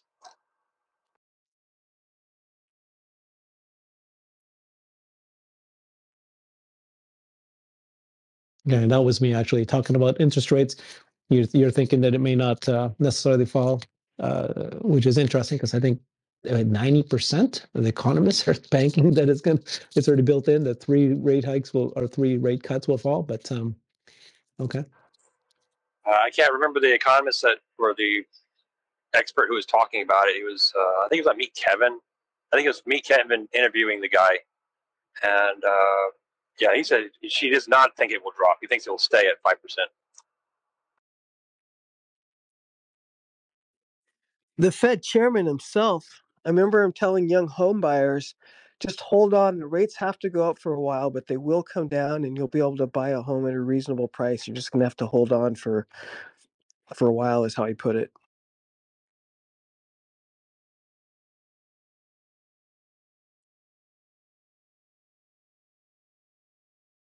Yeah, I mean, I think the arguments that were being made here were that it will take the interest rates to come down to to catalyze the stocks, and uh, especially if you're doing discounted cash flows, uh, you know, many many years out. So you you had the Fed speak what last week and discuss higher for longer, and uh, you know, not lowering in March and pushing that out, and potentially not doing it in May. So you know the market has to be patient but that's what you're seeing reflected in in the stock prices oh wait we're at all-time high Okay. I want to ask uh, Omar again then, because the FSD, are you thinking that, you know, what's a timeline, right? Is it uh, two years out? Is it possible that the FSD 12 could actually start, you know, uh, being safer, uh, being better, rolled out farther, and then some sort of, let's call it a ChatGPT moment where then people start buying FSD more? Would that purchase of FSD subscription happen this year, or would it take much longer than that? Yeah, absolutely. I mean, there's very little friction to subscribing. You can open up your phone and do it in a few seconds, right? So I think they could send people a free trial. They could get the subscription. I mean, if they reduce the price of the subscription or the purchase just to get people to try it, I think they'd probably generate more revenue and earnings than they did at the current price level. They'd also have more users too. So why haven't they done this? It doesn't make any sense. The only reason I can think of is they don't want a bunch of new users. There is a certain liability to having the users out there. If the software is much better, much more comfortable, Elon has said, look, when it's super smooth, we're going to push out the free trial. I think that moment is approaching with the end to end approach where you have something that is good enough that you can feel good about pushing it to as many users as possible. Yeah, that could yes. be an interesting moment. But but okay, the last time he was being interviewed, he talked about human assisted driving that it's maybe three or four times safer than a human right now. This is existing version 11, I'm sure. But what it it needs to hit them, I, I don't know, I can't remember now. Is that five times safer than human? Certainly 10 times safer than human before it actually can be applied for robotaxi. But where are we and where do we think we'll be in terms of that metric safer than a human? Forget about the robo taxis. It's not safer than a human unsupervised. It's safer than a human when it's supervised by a human. Okay. So people crash less when they're using it, but there's a lot of factors behind that. You could argue about that. But forget about the robo taxi. Everybody gets too caught up in that. Just focus on what they could sell this year as an ADAS system. It's not going to be perfect, but if they don't shit their pants, then they won't cancel it. Okay, I think I'm following you now. So as long you think that compared to version 11, it's got to be more comfortable. It's got to be you got to feel safer, maybe not yet five times safer. And then the subscription to FSD, and they may maybe they might lower it. They might lower the price because they feel comfortable. It's going to be less, uh, less like you said, supervised uh, driving is so much better than it was version 11 that they're more comfortable lowering the price and, and then and then spreading the adoption. So that's what you're suggesting. Okay, I think I'm following now. Look, here's what this feature does. Can it drive your car without you? No. But what it can do is, and they're working on this new version of actually Smart Summon. we've seen some things in the Tesla updates. You'll be able to pick up your phone, have the car drive to you without a driver in the parking lot. You get in, it drives you out of the parking lot, drives you on surface streets, on highways, to your destination, and then pulls over and parks, and you get out of the car. And it's going to be able to do this, I think, most of the time without any input from you. Not every time, but I mean, it's approaching that fast. Wonderful. Okay, Gary, welcome. Uh, thank you for joining us. So I know you missed quite a bit of the conversation. We're just talking about the sentiment for Tesla stock, uh, money moving out of Tesla into Mag Six, um, and uh, what you know what could uh, catalyze the stock to move forward, or is it going to be trading sideways for the rest of the year? So I saw Omar's. I said, well, Darth Vader is going to enter the room, so be prepared. Um, So is, is Omar is Omar Luke Skywalker then? yeah. So look, the reason the stock is acting terrible, and you know, it's down twenty-five percent year to date. It had a nice move today because of China. You saw BYD up seven and Baidu up four, so Tesla followed that. But it's down twenty-five percent. Nasdaq is up four, and it's all because the estimates have been cut by about twenty percent this year. Year to date, uh, EPS estimates for 24 and 25 down 20%. So you got, remember, price equals PE times EPS. So if the percentage change in EPS is down 20, the rest of it is you're getting some PE re-rating. And what institutions are doing is saying, look, earnings for this year estimates are now 311, which is less than 23, which was less than 22. So you can't have a, a 44 multiple stock on next year's earnings or 60 multiple on this year when you got earnings going down. And until the company signals they're going to stop taking prices down because you're not getting any volume growth as a result of it. Let, let me just rephrase it. As soon as the company starts saying we're not going to take prices down in excess of cost declines, because I know Jeff would correct me on that, you you can't get you you're, you're going to get a re-rating downward because people are starting to expect that you're going to get more pricing down. So you can talk about FSD this all you want, but because the pricing keeps going down and people aren't convinced that the company's going to stop doing that, you're getting a re-rating and you're getting an earnings revision. So you can you can look at the 25% price decline this year as 20% due to earnings and probably 5% due to a re-rating down. And if they keep taking prices down, that's going to trigger more. So if you if you could give me a crystal ball and tell me that they'll stop taking prices down and auto gross margins have actually bottomed, then the stock can recover. But if it can't, and, and the and the and the PE keeps falling, you could actually see the stock go down to the 130, 150 range, despite what Omar is saying about FSD. And let me just talk about FSD real quick. So if you go out to 2030 and you assume, let's say, you know, you'll have 45 million cars, Teslas on the road by 2030, and you multiply that times $199 a month, so let's say they don't cut the price, times 12 months a year, and you throw a 12.5% take rate on it because it's not at, you know, level five, let's say, let's say it's level three and a half. You only get about two bucks in earnings. So I don't know why people get that excited about FSD unless it can actually drive itself and you can actually get some robo-taxi revenue. But if it's Gary, Gary, hold on. Gary, quick, real quickly. I think it's way more likely if it's at level four or even three and a half, but let's go with level four, that the price comes down to 100 and you have a 50% take rate because people's quality of life is way higher. They can be sitting in a car for two hours and not bother because every once in a while the car might say take over. The rest of the time they could be doing whatever they want. It's be more pleasant than a two hour plane flight. but you're not you're not getting you're not getting that type of take rate today. And you know, there are people on this call who argue it's already at level four. I mean, I've heard all. No, I, I, I mean where you can so. legally you can legally sit in your car and work on the computer or turn around have a conversation with someone in the back seat where you can not pay attention to the road legally and just sit in your car and go. And if I had a choice between a two hour flight plus the two hours of dealing with the airport, I'd much rather jump in my car for say three or four hours in peace and have my car with me when I arrived and I'd be relaxed. It's worth a hundred dollars a month without thinking twice. That's a 50% take rate product. All right, I think maybe that's true, but you know, people have been predicting that for five years.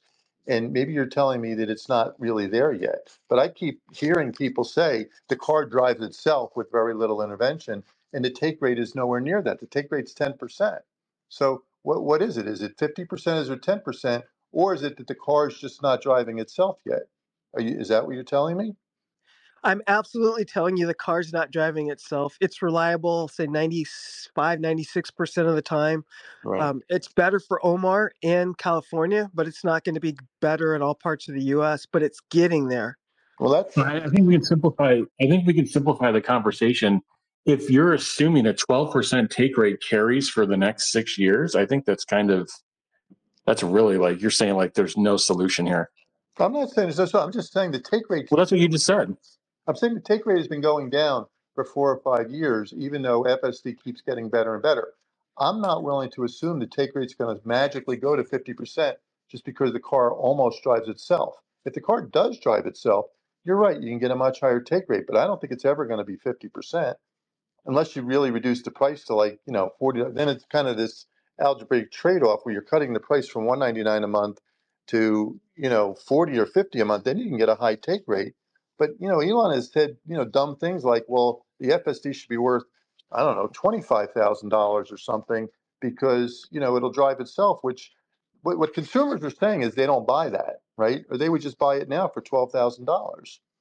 No, but Gary, just uh, just one thing, you know, they, you know, they've gone, you know, this thing has transitioned to basically heuristics have been reduced to nothing, and it's you know video in and controls out. That's what's that's what's in their lab right now, and that's what's on a few, you know, couple thousand cars. So to say that you know something that's basically AI driven, like think of like ChatGPT four to five to six, and I don't think anybody's saying that like ChatGPT four is is going to be the same kind of performance between here and 2030. So I mean, I, I would I think it's safe to say that your your estimates on FSD are on the ultra bearish side. Basically, no improvement for the next next six years is the way you, would describe it, right? Okay, well, let's put it this way. Let's suppose it's 50% instead of 12 and a half. Let's just use your number. Okay. But take the price down to say $100 a month. Okay. Then my incremental earnings is $4 a share on my 21. That's it. Right. Because right now I'm getting two bucks a share using my, as you say, pessimistic assumption or bearish assumptions. I'm assuming a 12.5% take rate, 100, and I'm doing this globally. I'm not even separating US, Europe, and Asia. I'm saying there's 45 million Teslas on the road by 2030. Multiplying times 199 times 12 times 12.5%. So let's use your number and say it's 50%, and I take the price down to 100.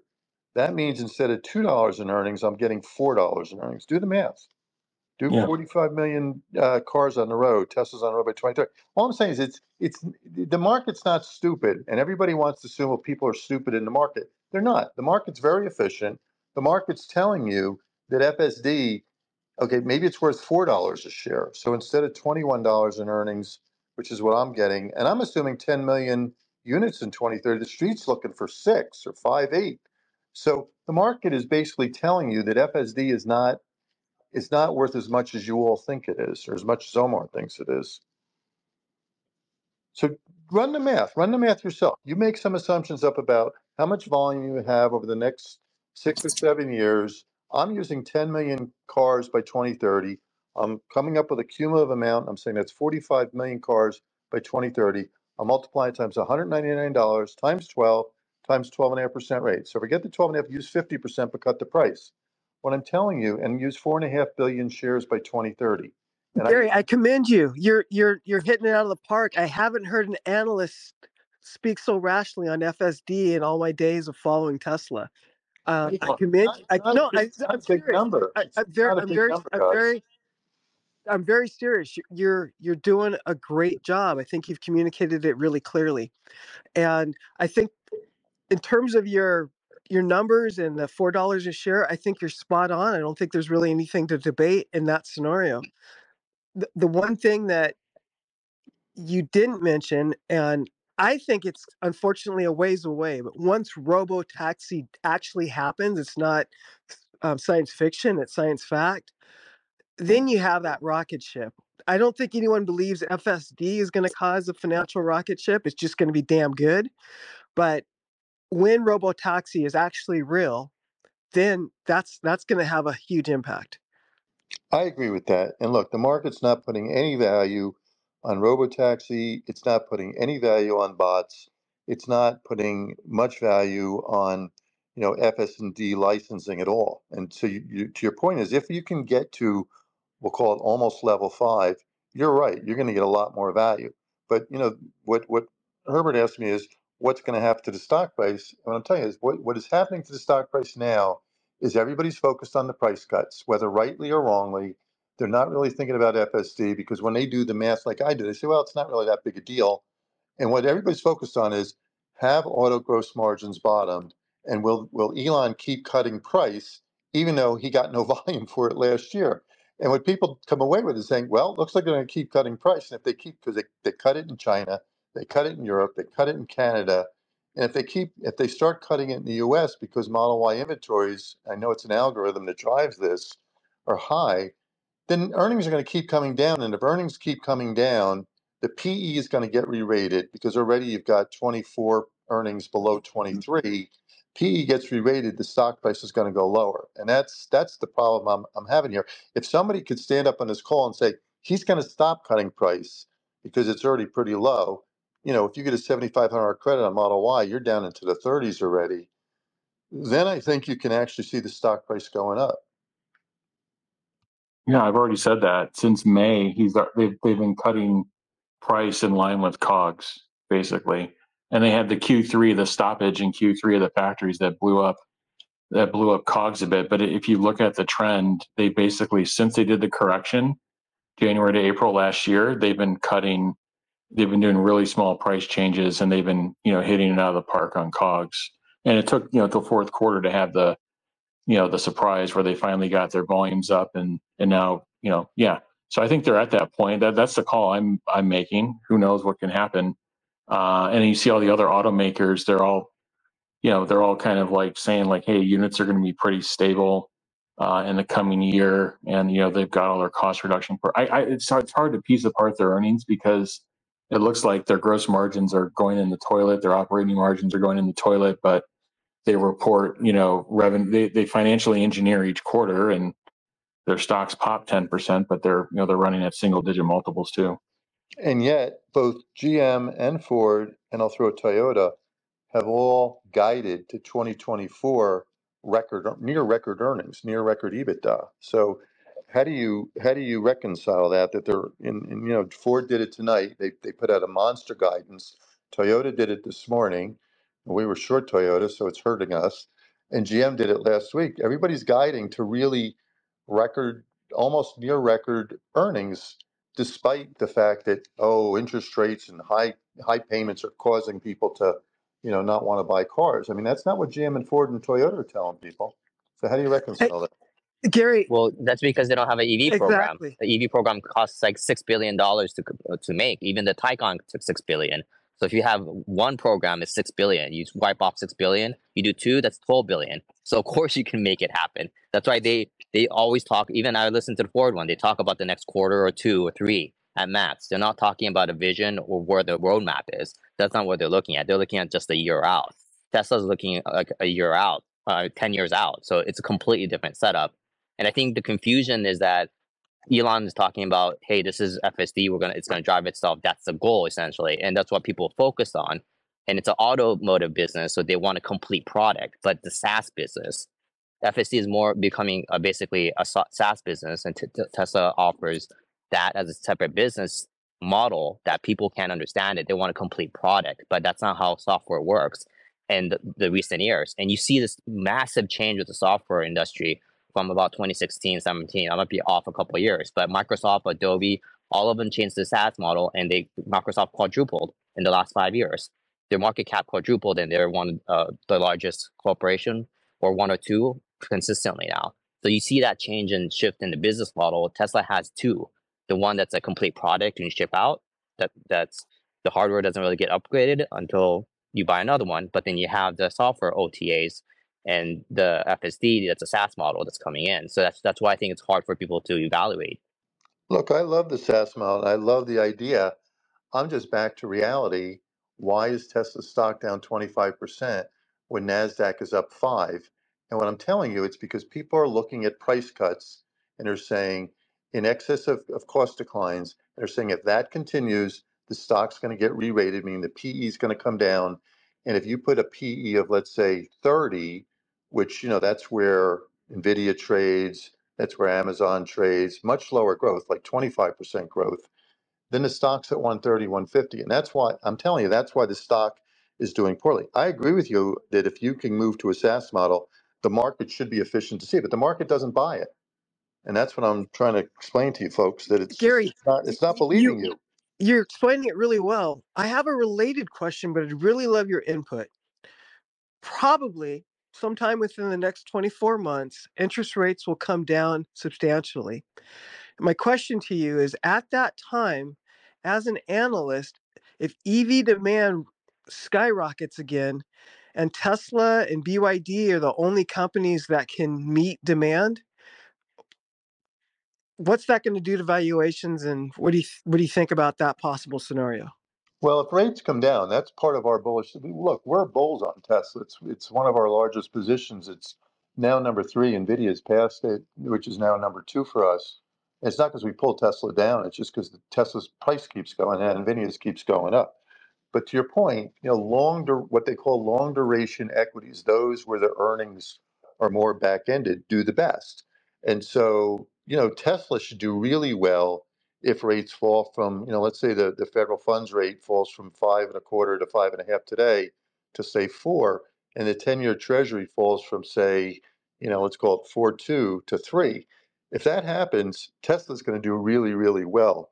Um, BYD does less well because it's not as long duration. BYD is actually very cheap. It's about 12, 13 multiple. It's not a, it's not an expensive stock.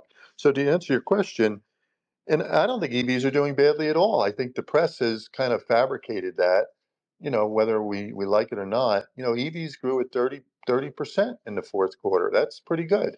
But what I'm telling you is it's being offset by the price decline. So if you have 30% volume growth, but you take prices down 15 or 16%, and costs are going down, let's say, 6 or 7%, it, it's offsetting it. So it really comes down to you got to stop the price declines and if and if EV volume does keep going up at 30 to 35 percent, which I think it will, Tesla stock should do well if it, if it were not for the fact that Elon keeps cutting price. And so then you get into this whole thing with the twenty-five thousand dollar vehicle.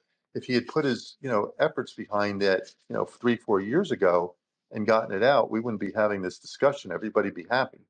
But because we never got the twenty-five thousand dollar vehicle out for whatever reason, you could say it's we didn't have batteries, whatever but if you could get that twenty-five thousand dollar vehicle out quicker, then you wouldn't have to be taking prices down on Model Three and Model Y, I think. Gary, if I can comment, um, I was on the earning the Ford earnings call this morning, and uh, Jim Farley announced that they will not produce a second generation of their EV vehicles until they can make a profit on it within 12 months have seeing that they're actually losing more and more money on their current generation cars and the price pressures that Tesla's putting on them, I, I think you it's fair to say that Elon's playing a long-term 4 4G, you know, four-dimensional chess game that you know really is impacting the customers, uh, sorry, the um, other manufacturers to ensure Tesla's long-term viability and to ensure they have the market share. Yes, obviously the twenty-five thousand dollar car will have a massive impact, but even today, they're still putting huge pressures on their uh, on their competitors to not be able to enter the market as it stands today. But they will. And Ford and GM have both still say that the vast majority of their cars, I can't remember the numbers they the targets they put on it, are going to be EVs by 2030. So yeah, you're right. They're basically saying until we can is exactly what you said, until we can get our costs down and we can build a $25,000 car why should we play and lose, you know, ten or fifteen thousand dollars per EV? And that's the, but they will be able to do it at some point. You know, there's no question in my mind that with their scale and their ability to produce, they will be able to come up with a twenty-five thousand EV. But until they they figure it out, they're going to stay out of the market. But they'll be there in two or three years. But hi- No, historically, that has not been the tr- that, that has not been true. Ford, they did say about Ford like ten years ago they can make one battery volume. No, that's not how uh, the battery electric know how to works. make ice That's why they cars. can't They know how to produce make it. ice cars for twenty thousand dollars. Why can't they make an Yeah. EV car twenty thousand dollars? Well, there's an- there's answers to this question. I mean, first off, both CEOs are on the record last summer saying that they don't see themselves producing an EV under forty thousand dollars that's profitable until the end of the decade or longer. I, I always ask which decade, but I'm assuming they're saying this decade. And um, I mean, that's what they're both CEOs. They both, I think they said it between May and June of last year. That's that that started the capitulation moment for them when they started pulling back on EV. Then they asked for the charging help so they can pull back on that capex, and you know that's where that train started. So I actually don't think their next set of vehicles are going to be significantly profitable, or or they're going to be priced in the 70, 80, 90,000 dollar range, and they may make some uh, profit on them. But in terms of like high volume vehicles under 40k, I mean they're both on the record uh, stating that. And the reason here, there, there is a reason that this will not happen anytime soon. And the reason it will not happen anytime soon is they have pulled back on their capex investments they have they have told their suppliers that that originally ramped for them over the last year. They Ford told their suppliers to be at a 600k run rate. GM told them a, a pretty significant number too. They all pulled back. All those suppliers took it in the teeth. They all have a bunch of write downs they're dealing with. Now Ford's going to come back and GM's going to come back in probably, you know, 18 to 24 months. And they're they're going to have to re-ramp their supply chains to get up to the run rate of where EV adoption is. They're they're, they're going to be this small number. They're going to have this very small volume in a much much big, larger pool, and they're going to they're honestly they're going to struggle um, to to to to get anything profitable from a unit economics perspective. So. I, I think, I mean, they said end of the decade. You know, maybe they beat it, you know, by a year or two. I, I don't know. But in terms of the high volume vehicles below 50K, below 40K, they said they don't have a, a, a path to do it in this decade. Maybe they'll maybe they'll come out and change that guidance. I, they have no choice. I mean, I've got EV adoption going from 15 to 22 to 30 to 40 to 60 by 2030. Okay. And I think, you know, that's probably a normal forecast. They're looking at the same numbers. Again, you're, you're almost you're almost making it sound like these guys are stupid. They're not stupid. They know the whole world is going EV. They're they're they're doing hybrid now because they know that they've got to get to be all EV or they're going to lose all their business. They're not going to just sit back and not invest in EVs when the whole world is going EV. That would mean that they're dumb. And they're not dumb. These are companies that have been around forever. So I just think we've got to No. stop assuming that everybody is stupid but Tesla. And they're not. They're they're gonna they're gonna they're gonna keep investing quietly and trying to get the costs down. And when they get the costs down, they will bring out EVs again. But you're right, they're they're not doing it right now. But I don't think it's going to be 2030 because by 2030, to your point, Jeff, you're at you're at a 60% EV adoption, and I don't think they're going to wait till then. No, no, you're, you're, the, I, I I think we're saying the same thing. The only final thing I'll just add to this is they have a multi-year transition. It's not like they just have to go spend money and buy a particular piece of capex that's going to allow them to do an operation faster.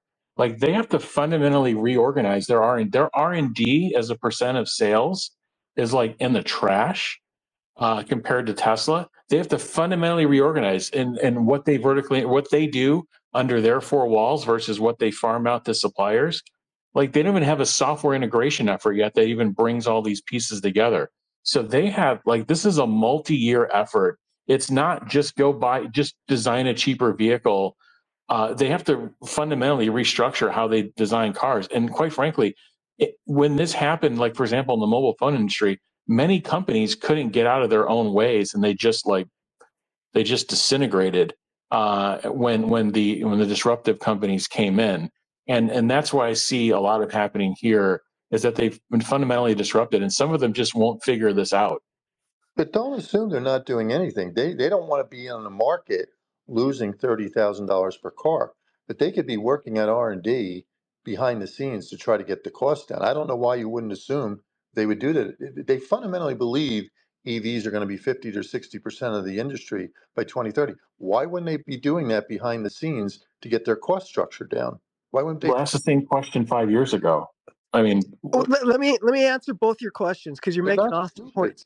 They're not Uh, stupid. Uh, Uh, Gary, you're absolutely right. They're not stupid. In fact, I want to commend Ford because right now, looking at the next two to three years, financially, they have pivoted the right way because they're going to increase their profits. And Jeff's right that they're going to need a, a long ramp to be able to convert to making EVs in volume but they're gonna they're taking advantage of this time with a much lower spend to prepare themselves to have an all EV platform to make it kick ass. But when they are ready to throw a whole bunch of money at it, the costs of batteries are going to be way lower. There's a very high likelihood that 48 volt will become commonplace because of Tesla, and they're going to be in a much better position, bang for buck, for the amount of money they need to invest before they can get to a price parity EV. I think Ford and those OEMs that follow Ford's type of track are going to be in a much better position three years to to eight years from now when they're actually hitting really high volumes than they would be if they spent all their money now trying to be able to get to profitability with EVs. I just, tell you guys, just take one example the joint venture battery factory. Tesla kicked these efforts off in 2013, 2014, and got a partner with Panasonic.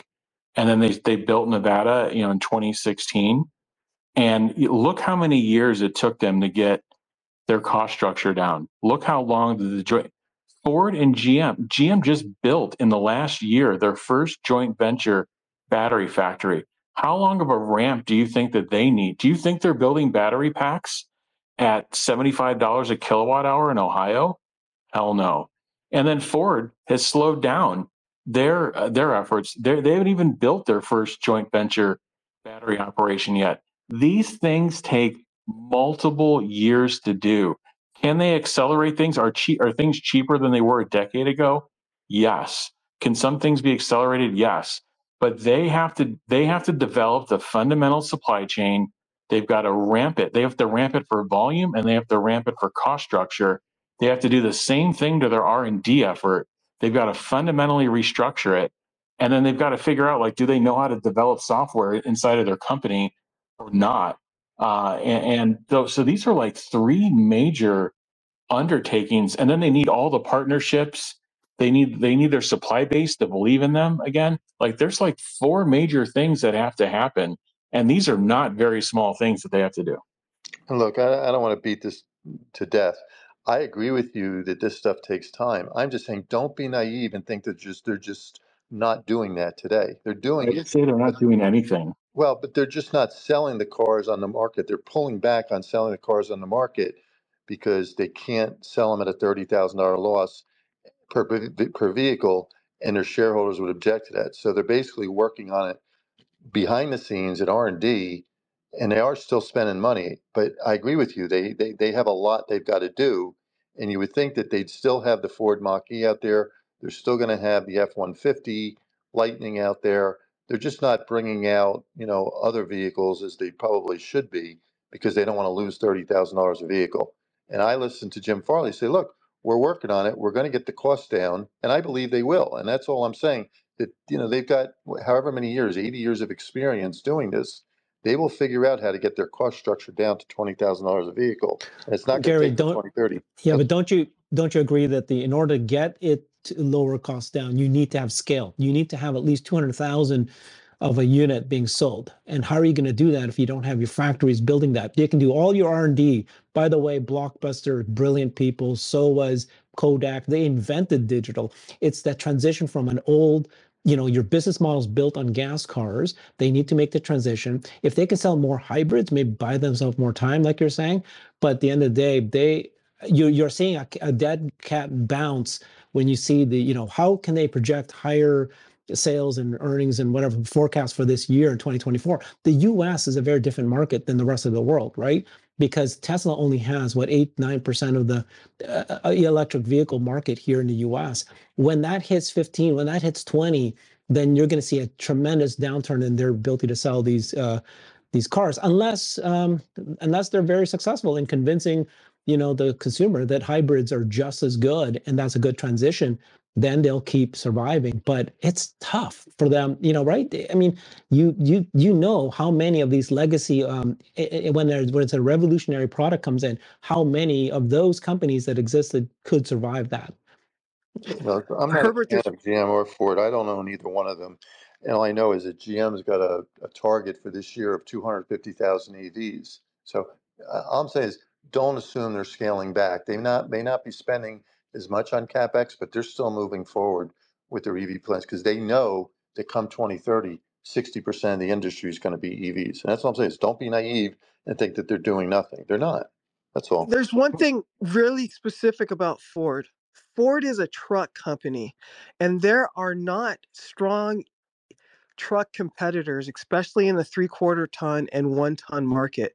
Ford has a lot of runway, maybe as much as 10 years, to keep selling ICE trucks because the EVs aren't there yet. And during that runway, they can get their EV truck sales to price parity. And that, that's the one thing that I haven't heard in this conversation that I want to call out. When it comes to trucks, Ford has maybe an extra five years than what you think they have. I think uh they've got a huge boat anchor around their neck. As we get to the 60% EV adoption rate, that ice boat anchor is is going to get heavier and heavier and heavier. They already they're already 30 or 40% over capacity right now. So it's not really a question of like naivete or not. It's more of, you know, are they going to be if they're even one or two years late in their plans, they're they're they're toast. So they can't be one or two years late. They they've got to be spot on and they've got to hit it. And like we don't think like people are stupid. It's not a question of like, do you think everybody's stupid or everybody's dumb? It's more of um it, this is a huge undertaking and I haven't actually heard them talk about like how they're actually putting all the pieces in place. I've been saying, well, like, we're going to design a cheaper car. I'm like, well, okay, well, what did they say five years ago? Uh, so, like, how are you? How are you doing that? Are you fundamentally restructuring your company? Are you fundamentally restructuring? Did you? Did you? I mean, I'd like to see them actually break away because I don't think I don't think their supply base is even going to trust them anymore. When, you know, when the next EV go around comes, like, are you going to believe the Ford or GM demand signal? I mean, this is how it really works uh, in the industry. So I, I, it's not it's not a question of all or nothing. It's a question of like they they've only got a really small window to figure this out. So can I ask you a dumb question, Jeff? Why do you think the market has rewarded? They haven't really rewarded GM, but Ford. Ford, if you look at the last three years, is up four percent. Toyota is, I think, up. I don't know, thirteen percent. Tesla's down thirty-five percent. So why why is the market not seeing this? What you're seeing? because um, so so obviously Tesla was at a thousand x multiple three years ago was ahead of their well ahead of their skis. So I mean I think a pullback was in order, and I and I think the market isn't rewarding these companies. I think Ford and GM with single digit multiples on earnings. I don't think they are getting rewarded. I think these. I think they're all trading in a range. To be honest with you. No, I'm I'm looking at performance over the last three years. I'm looking at my Bloomberg right now, and I'm saying in the last three years, Tesla has dramatically underperformed Toyota and Ford. Not GM. GM is still ahead of Tesla. I'm just saying the market, which looks forward, the market doesn't look backward. The market is basically saying that in, in terms of performance, Ford and, and Toyota have added more value to their stock than Tesla has. Why is that? Is the market Well, what was the multiple? What was the multiple of Tesla three years ago?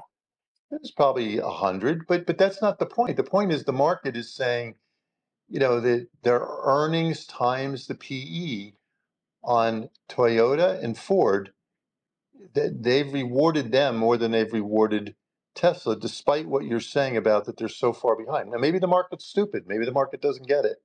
Well, But they I, are. I, I've always found as an investor, don't assume the market's stupid. Well, the market But has assigned a higher market capitalization to Tesla than Ford and GM combined, right? But that was true three years ago. I'm looking at from 2021 to 2024. Toyota and Ford have dramatically outperformed Tesla since 2021. And what Jeff's saying is, well, that's because the multiple on Tesla was so high. That that's not a that's not that's not the way to think about it. You got to think about earnings times price. You've had a lot of degradation in in the PE of Tesla because people people have seen that in order to move volume, they they are cutting price. And so the earnings, if you look at the earnings, the earnings have gone straight down now for two years. It went from 407 in 2022 to 312 in 2023. And right now, the estimate for 2024 is 310. So why would you put a, a, a premium multiple on some on, on earnings that seem to be going down? Now, the market hmm. seems to think that earnings are going to start going up again. But what we've seen so far is that hasn't happened. That's why the stock has underperformed because Gary, is missing its earnings estimates.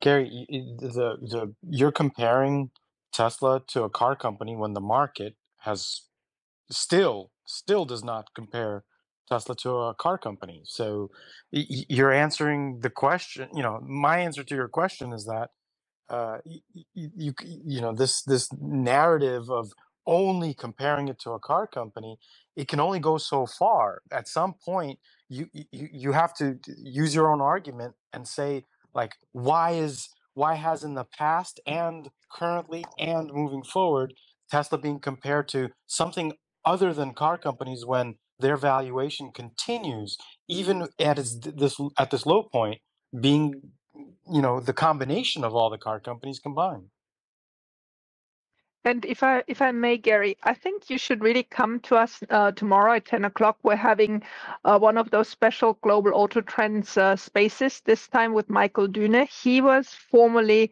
working for GM. He was president of GM uh, in Indonesia, and uh, before that, uh, um, managing director of JD Powers in China.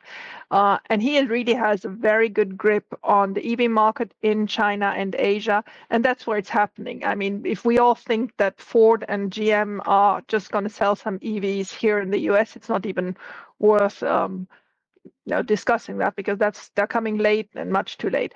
But um, but i think you should come tomorrow and ask michael who has gm experience and who has written an opinion piece uh, about 10 days ago saying they will be much too late for anything uh, to see how uncompetitive they are and that they can now promise and pretend that quietly in a corner they're working on 2030 and having a plan. I'm just not buying it Yeah, and the other thing is the market is putting a premium on Tesla. It's putting a discount on Ford and GM. I mean, they're making forty billion dollars a quarter in revenue, and you know they're in their EPS. I mean, they're they're the market's actually putting a discount on Ford and GM. I don't think they're rewarding them. Well, in terms of stock price performance, Toyota's up 45% in the last year, Ford is up 4, Tesla is down 35. And, and uh, all I'm saying is the market over the last 3 years has said Ford and Toyota have created more value. I'm looking at deltas. I'm not looking at an absolute level than Tesla has. Tesla has has sucked the last 3 years in terms of stock price, right? And it's because of two things. It's because they keep cutting price so earnings revisions have been very negative. I just look at 24 and 25, estimates are down 50%. That's not true of Ford or Toyota, where estimates have gone up. And the, the Tesla PE has dropped materially because people are, are thinking it's not going to grow at the same rate it was, right? So I agree with you that uh, from a PE standpoint, Tesla's still high, but you're looking at an absolute level. I'm looking at the delta over the last three years. And I'm just saying the market has rewarded Toyota and Ford and punished Tesla shareholders. You would agree with that, right? Yeah, and what everybody I've interviewed and asked that question, what they're saying is Toyota and Tesla have been rewarded by the market because they are going to stay alive. And despite that Toyota is the last in the EV, you know, the leadership, the the the amount of, you know, I don't know, they still believe that they can make it. And that's what they probably think. People think that Ford might make it, but the rest of the gas uh, automakers are not going to survive. Do you agree with that? I think most of these guys are going to survive. I think you know the The US brand will survive, not not the company as it exists. They'll be bought up by Chinese, just like they have with the Volvo and maybe others. maybe, but they'll survive. Uh, You know, in, in America, will will will if they go bankrupt, they'll bail them out. And you know, look, this is the way it's always been. And unfortunately, I don't believe a lot of these companies are going to go bankrupt. I wish they would. Unlike the cell phone makers, where you know companies did, you know, either go bankrupt or they shrunk to a you know very small percentage of their former size. I think if Tesla was really aggressive at doing what Apple did, which is really spending money to educate people why on EVs, they could put these guys out of business. But they're not willing to do that. You know, they're basically just using price as a weapon instead of doing what Apple did, which was I remember I used to use BlackBerry and I watched a, a television ad probably 15 years ago showing all the things you could do with an iPhone. I said, wow, I got to get one of those. If Tesla would learn to do that and say to people, look, they're cheaper to buy, they're easy to charge, the technology is better, they're good for the environment. Look at this great performance. If they were willing to spend the money, and we're not talking a lot of money, we're talking maybe 100 to 200 million dollars a year to educate people why they should go EV, then I would agree with you. But they're So not so so so in, in two years from now, Tesla decides to put you know billions of dollars in advertising, then all these other guys will die, right? Because by the way, by the time that Ford comes out and GM comes out with their cars three years from now, two years from now, what do you, do you think is going to be the same levels playing field that is it today? Tesla's price g- gross margins will be so much better, cost produced, prices will be even lower than it is now. how are they going to compete at that point, right? You're right. Well, then convince Elon that that's the way to go. But just reducing price is not going to do it. And by the way, Jeff, just so you know, so 2021, Tesla's PE was about 125. It wasn't, you know, it wasn't a thousand, but it's it's it's it's been re-rated down to where today it's 60 times, and that's because the growth rate has fallen. You would expect that if the growth rate was 50%, now it's just 30%. I mean, I'm giving them a little latitude here because I'm looking over the next five years.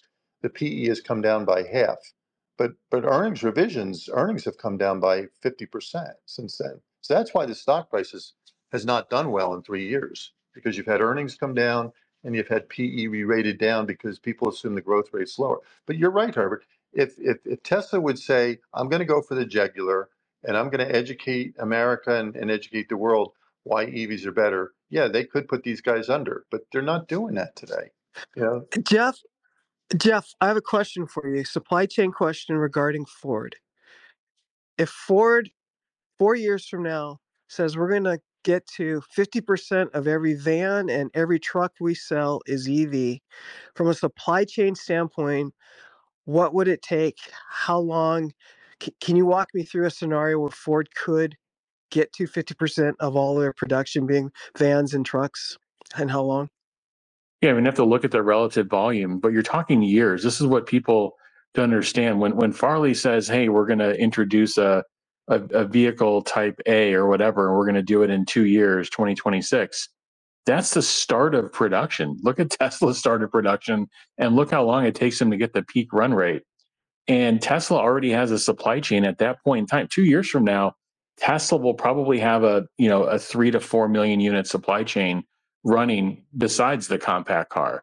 And then they're going to put the compact car out there, and then and that's probably going to be when it gets to its peak run rate, three three or so million or more.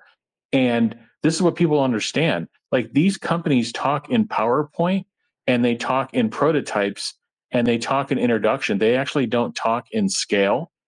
And that is that is where I think a lot of people and and some analysts that aren't as, as smart or crude about it, that's where they get tripped up. These companies don't talk in scale.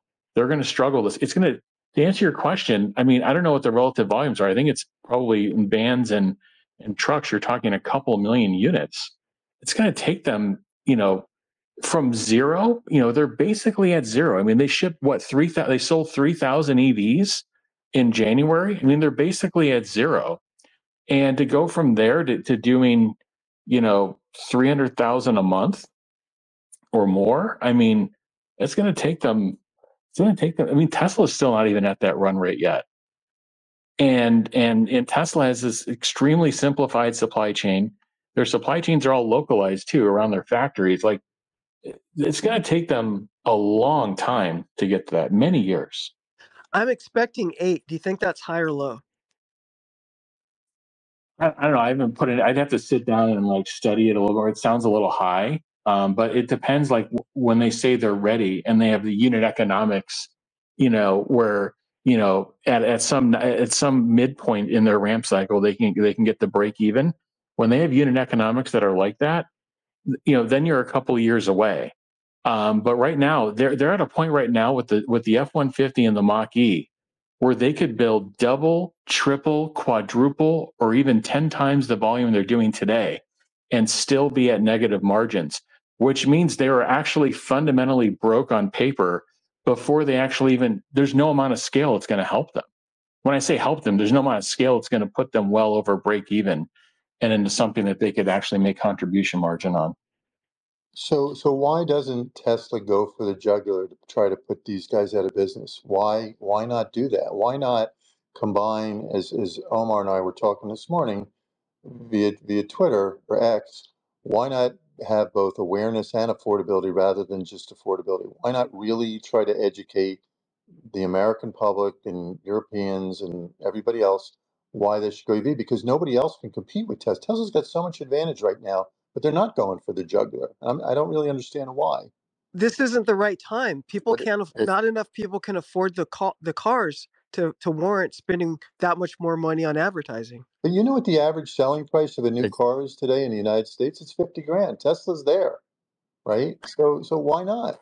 I don't. Well, there's a there's a physical issue though because they, they've been battery constrained for a very long time. They, they still are technically. So that's you can't just flip a switch and make double the battery production. So you can't take over the 17 million cars being sold every year. You, you just can't take over that fast.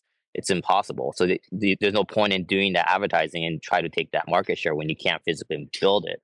And second, yeah, your your time frame for three years may be correct in terms of the stock prices, but Tesla's been kind of punished for their success. Because if you do a five year chart, Tesla has gained seven hundred sixty eight percent versus Ford's thirty seven percent. Yeah, So you, you you have to look at it from that.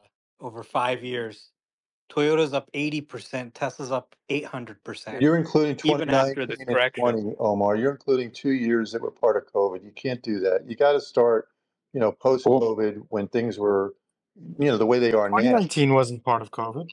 I mean, to suggest 2020 that, was. you know, 2020 more value has been created at at Toyota than Tesla, I think is a little bit ridiculous. I'm And saying in the last I three don't think years, Omar, the last three years. I'm not going back to 2020 when se- when Tesla was up sevenfold. You can't count 2020. 2020 was COVID. But there's a, there's a his, but, but you, you have to look at the historic context. That's where it's coming down from. So it's not the same kind of situation. If you're only taking three year snippets, then yes, you can make that argument mul- multiple times in Tesla's history, for that matter. And the supply chain makes a difference, and sustaining the supply chain is much more important for Tesla because in order to ramp up, you have to have your suppliers.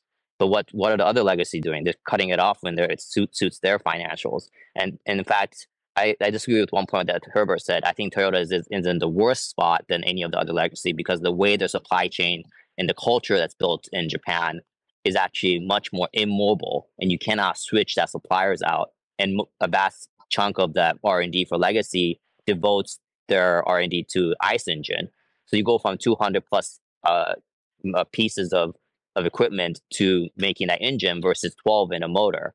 And you don't need that supply chain and you don't need that r&d for that. So you can't just switch over to a different r&d completely different suppliers and say hey we can make a $25000 car. I, I, it, it doesn't work that way. The supply chain has to completely change and you, you need as jeff explained you need the ramp up for it so not only do you have to have, you- you're lucky just to have them have the suppliers they don't even have it yet now that switch it out that disrupts the entire system and culture so it doesn't work that way. Just like GM could never master the lean production that Toyota did, which is the reason why they they could never get the same gross margin on on average versus Toyota. It, it's a matter of culture. It's not and system. So you can't just switch over that way. And it's been the argument that people touted about Ford for the last decade. I think, Xander, it's not even about switching over. It's about running them both in parallel because they're still too reliant on their existing, you know, cash cow, you know, as Ford called it, their pro division. Um, so they're never going to, you know, run that down to the ground. They're going to run both in parallel to try and sustain what they can do, you know, financially. look, I you know, I think affordability and price cuts it's a false dichotomy. They need to do both. They're doing both. I think the price cuts that we saw in 2023 were probably one of the most important strategic moves the company's made in a long time. Yes, of course, you take earnings down, Wall Street's going to update their estimates. Things don't look as good, sure. But their estimates are off. You have a market with EVs where the most important thing, I think, is to expand to take those consumers.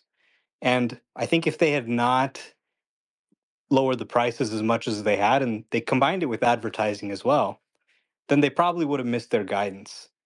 Then you start to see a narrative of this sort of secular EV growth story break. It's no longer a sure thing. Then suppliers adjust their planning, the market adjusts its thinking. It's really important not to break that narrative, I think, and to continue to grow. So, I mean, you can say, okay, maybe they shouldn't have cut price as much, but it, you know, they would have missed their guidance, which would have been worse. I'm not really sure. But in terms of the price reductions, I do think we're sort of starting to get to the end of it as they made some comments on the earnings call. They said, look, we're kind of starting to scrape the bottom here of cogs on this platform. And we're really going to need the next generation platform with a redesign to really take it down to the next level. And they didn't provide guidance. They said, look, we're expecting less growth.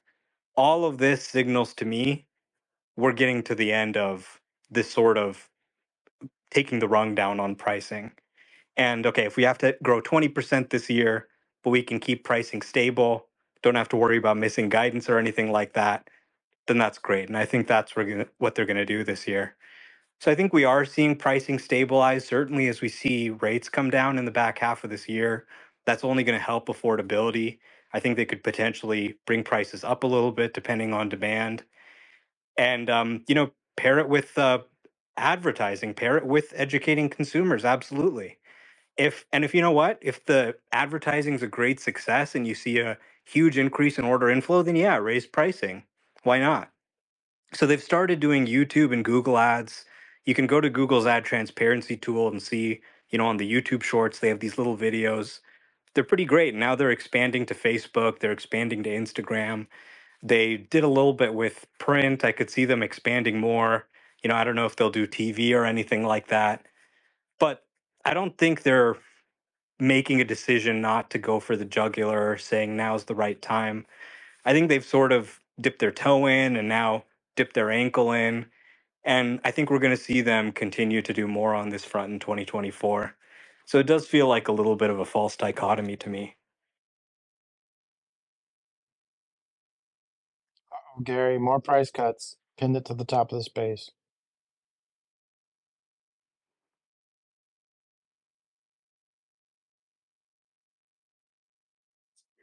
Oh, never mind. I take back what I said. Oh my God, it's Model Y performance in Canada. Is it like 500 units? I think everybody needs to take a chill. No, I mean, I kind of like what they're doing with Canada here, where you know they raised, they lowered the price last time by about four thousand dollars or so. This time it looks like about four thousand dollars again, but they qualify for five thousand dollars worth of incentives. So you essentially deliver, you know, nine thousand dollars of consumer surplus for four thousand dollars. And Canada is such a small part of the overall mix that it's not really going to make that difference to global ASPs.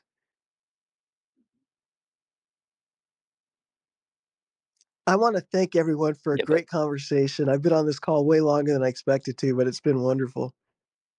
Thanks, Em. but it's, that shows that's because it's consistent with Tesla's mission to get as many vehicles out there by utilizing that incentive of each government that's giving that incentive. So that's why it's not about the price. And even with the price cuts, there's still what 17% gross margin. It's still industry leading for a mass producing program. It's industry leading. So it's not like they're losing money. And my thing is like any of the other OEMs, please make one vehicle that is relatively affordable that can make a gross margin even relative to their ICE programs. And they haven't.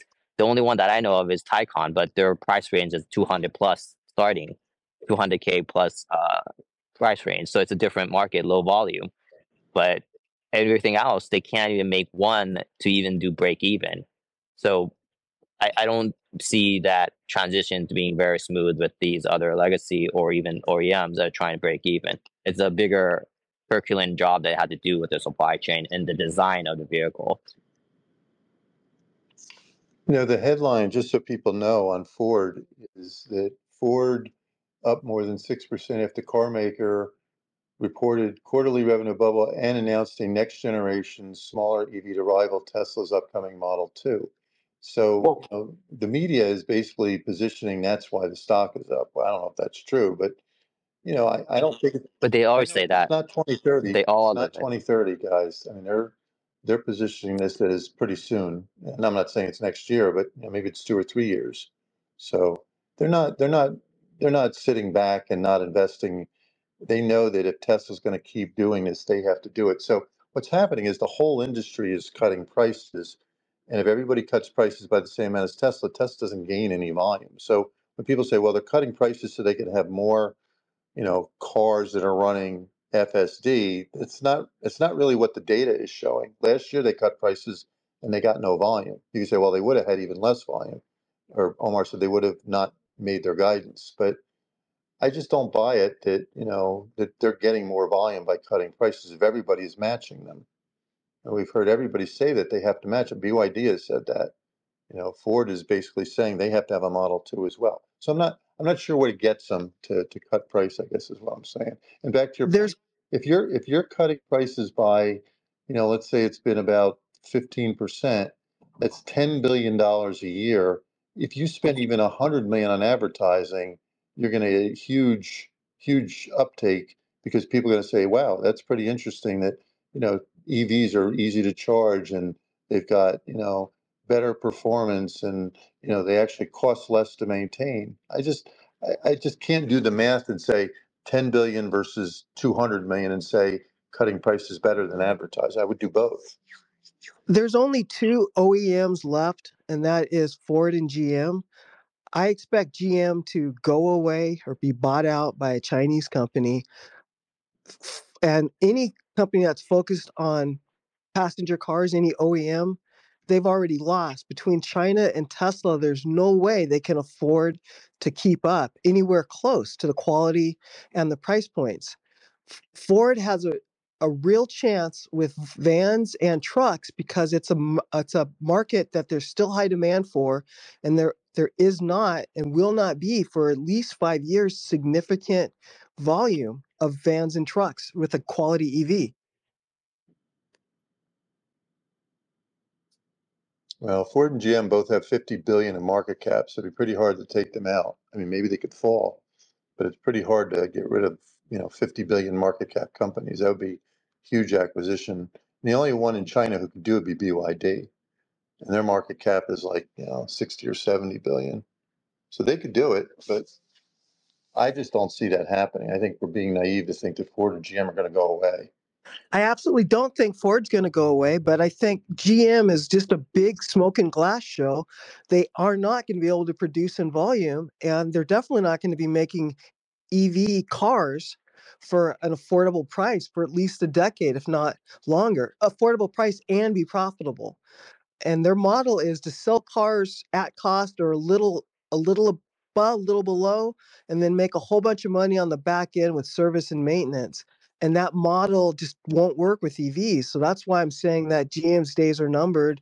They'll probably merge or get bought out, but I don't think they have a long runway. I think they've got three to five years. Hey, Gary, I didn't hear anybody talking about GM's gross margins and operating margins. I mean, they went down significantly in Q4. I don't know like what trend they're calling out, but I mean they're they went in the single digits, I think, on gross margins and uh operating margin. I mean, they're, they're I saw like five to six percent down, um, but I, didn't know what was the big call out. I'm just wondering if there's something going on there. Well, everybody matched the price cuts. You know, when when when the market leader here, Tesla's the market leader in EVs, cuts prices, they have to do the same thing. And you know, I don't know if they're cutting prices on their ICE vehicles, but you know, this is everybody calls it in the industry. They call it a price war, and everybody you know points to Tesla saying they started, but they all have to match it. So I I just you know when everybody matches a price cut, does anybody gain any volume? I mean, the industry's not really growing. You know, the overall SAR is kind of the same as it was. So aren't you really kind of left where you were? Right? Everybody's just making less money. Isn't that the? Well, I mean, you look at the Ford earnings call that just happened, and they had a you know full year EBIT margin on their EV, EV business of negative 79, and in the fourth quarter it was negative 98. So they did have to take the prices down, and it impacted the ability to make the EVs more profitable. And they're having to scale back their ambitions. They're cutting back on volume now. Instead of ramping up, they're scaling back because they're losing 98% on every EV. I think that probably does play into the fact that Tesla is still a majority of the US EV market now. Yeah. Um, according to Bloomberg, gross margin at GM in the fourth quarter was 15%. That's what Bloomberg is showing. Like I said, we don't own the company, so I have no. They break out the EV business and the I'm talking about overall. Talk about overall, it's 15%. That's according to Bloomberg. I could be wrong. After Q, after Q4 earnings, okay. And Ford is about 10, just so you know. And that's fourth quarter of 23. So theirs has definitely come down a lot. Theirs was 17 a year ago, and they're down to 10. But GM really hasn't uh, had that degradation.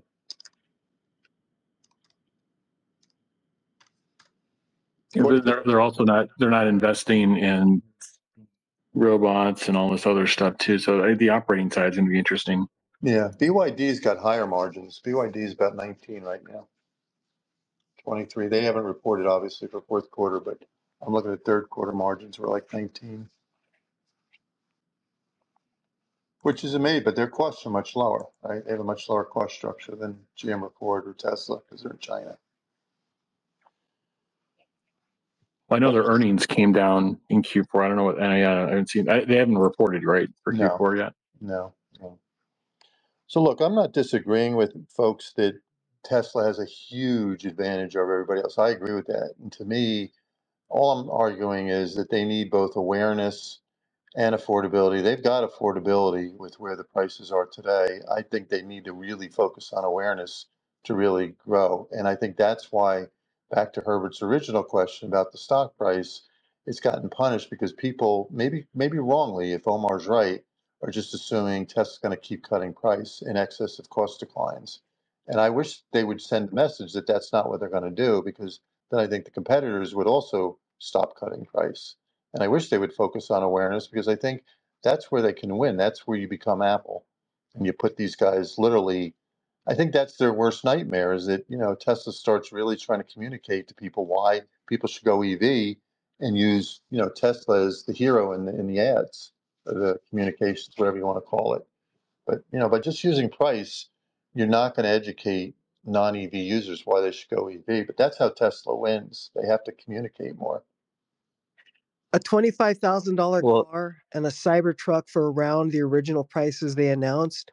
In two to three years, when that starts happening, that's when everyone's going to know about Tesla, and they're going to truly have an iPhone moment in terms of the whole Western population. Through those two things have to happen first. Through osmosis? How do you communicate it to people? You know, not through When Twitter, not through YouTube. I'm talking about the people who, you know, drive ice cars. People like my brother and my sister, and you know, they don't know anything about Tesla.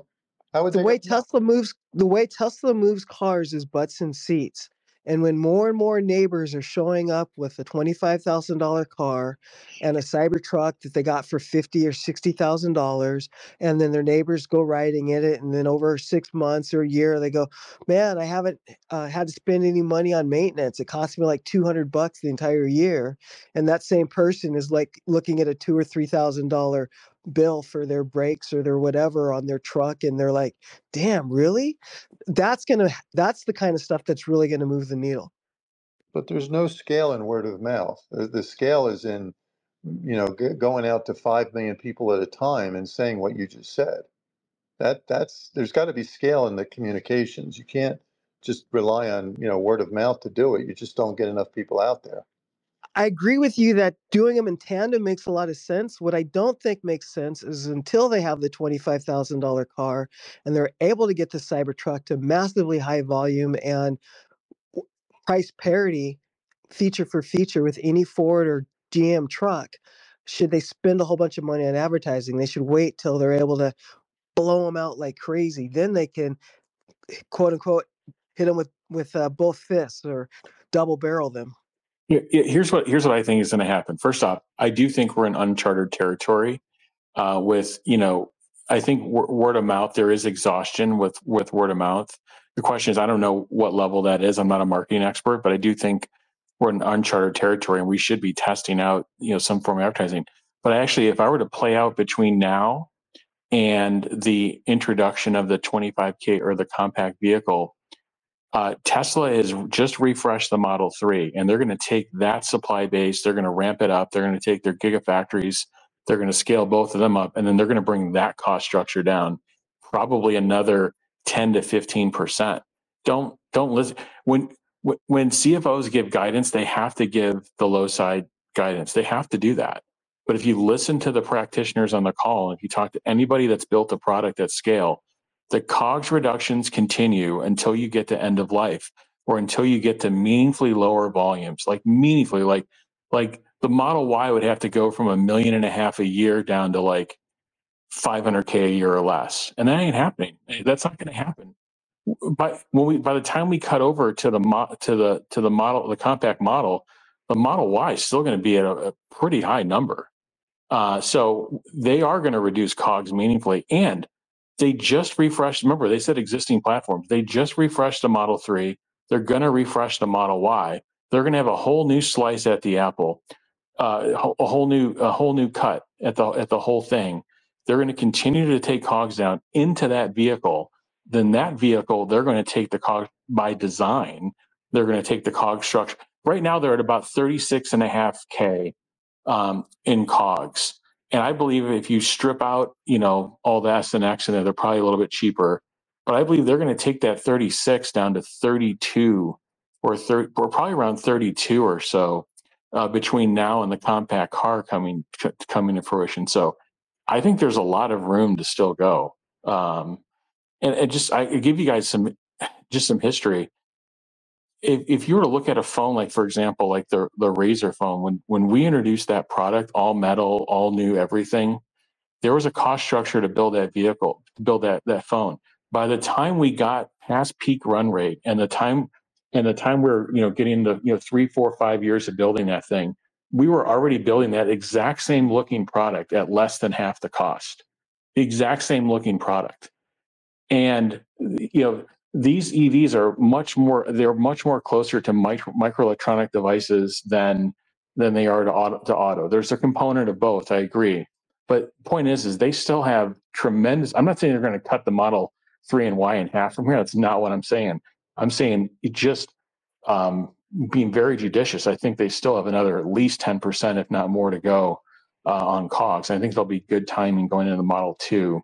So yeah, I don't think they have a lot of uh, product to you know to, from an advertising perspective. I don't know. I, I agree. I think you do some testing and advertising. You figure out if you can get some expansion, but the real expansion is going to happen when you get that that vehicle at 25k. Gary, I did want to say I agree with you. I don't think anyone has said that regarding I don't really want Tesla to have a massive price cut for the Model 3 or the Model Y going forward. I expect them to strategically adjust prices in every market as they always have as long as they've been selling cars, but I don't ex- I don't want them to cut prices like 20% or anything like that again. Well, I mean, they've always wanted the Model 3 to be a $35,000 car. That's what it was touted for. So they're, they're kind of in line with their mission. So it's not just the fact that it macro and the interest rate only that was always been the mission. So it's not like they're doing this one-off thing just to combat just the economy. It's always been the basis of it. There was never to maintain a $60000 asp on it. And the other thing is i don't think the market knows how to uh, evaluate supply chain because if you look at toyota i see it like heading towards a brick wall. But nobody sees that because the financials is business as usual. It's the same thing every quarter but they're not changing the supply chain. They promised something from 2017 every couple of years. None of them has come to fruition. All of them that does has been recalled or shut down for such low volume that it's it's not even material. So the the the supply chain has not changed, but because it doesn't show up on the financials yet, nobody sees it as a, as a negative. That's why you can value it the way the market values the way it does with the, the Toyota. I don't see the supply chain surviving uh, a good chunk of it is not going to survive when the generation changes over to EV. They don't have the leadership for it. So, but you know th- that doesn't show numbers. So the market can't value that because there is no numbers to show it. But I know that crash is going to happen, and they're going to get hit really, really hard. But and there's historical precedents. Nissan went through the same thing. They had to get a foreign uh, CEO to come in and tell them to change the stuff inside the culture. They literally had problems where the same nail that was used for two different vehicle programs was it cost one cost higher than the other for the exact same piece from the exact same supplier. That's how insane the supply chain was because nobody wanted to change anything. So you see the stagnation of change when something revolutionary is coming in as a whole industry and they're resisting it. So I see that as a red flag. The numbers don't show up. That's why the market can't value it. So that's why they are actually valued positively in this short term and that's why you don't see that punishment. Whereas Tesla's gone from 25 plus gross margin to down to 17, so they see that as going downward as opposed to seeing that they're maintaining and growing their supply chain. That's going to be for the future. They don't see it that way, so that's why they, get punished for it. That's a good point. The only thing I would uh, I would say is Toyota's supply chain is probably the tallest of that crowd in terms of capability and performance. But I agree, they're, they're going to need a big transition. But in terms of like localization, network efficiency, inventory, like they have a top notch. It, to me, it's not anywhere close to Tesla, but it's it's better than the rest of Legacy by far, actually. Yeah, the problem is you don't need them though. You don't need a good chunk of it because it's not for the EV. So Yeah. it, that's the only problem. It's, it's super efficient, but when you own each other, like you know, the parent company Toyota owns parts of the shares of the supplier, so there's like family. Like it's the same company, so to speak. That's why they can be very efficient. Well, you're not going to be able to sell out like that and just sh- switch over to a different supplier. And that's why you need some other leadership that does that's not from that culture to change that culture. And they're not willing to do that. And they're still bringing up leadership but it's homegrown. So they're not going to change the mindset. You can't value that because that's qualitative assessment of the management and the company direction. Wall Street and mar- the market cannot value that because there's no numbers attached to that.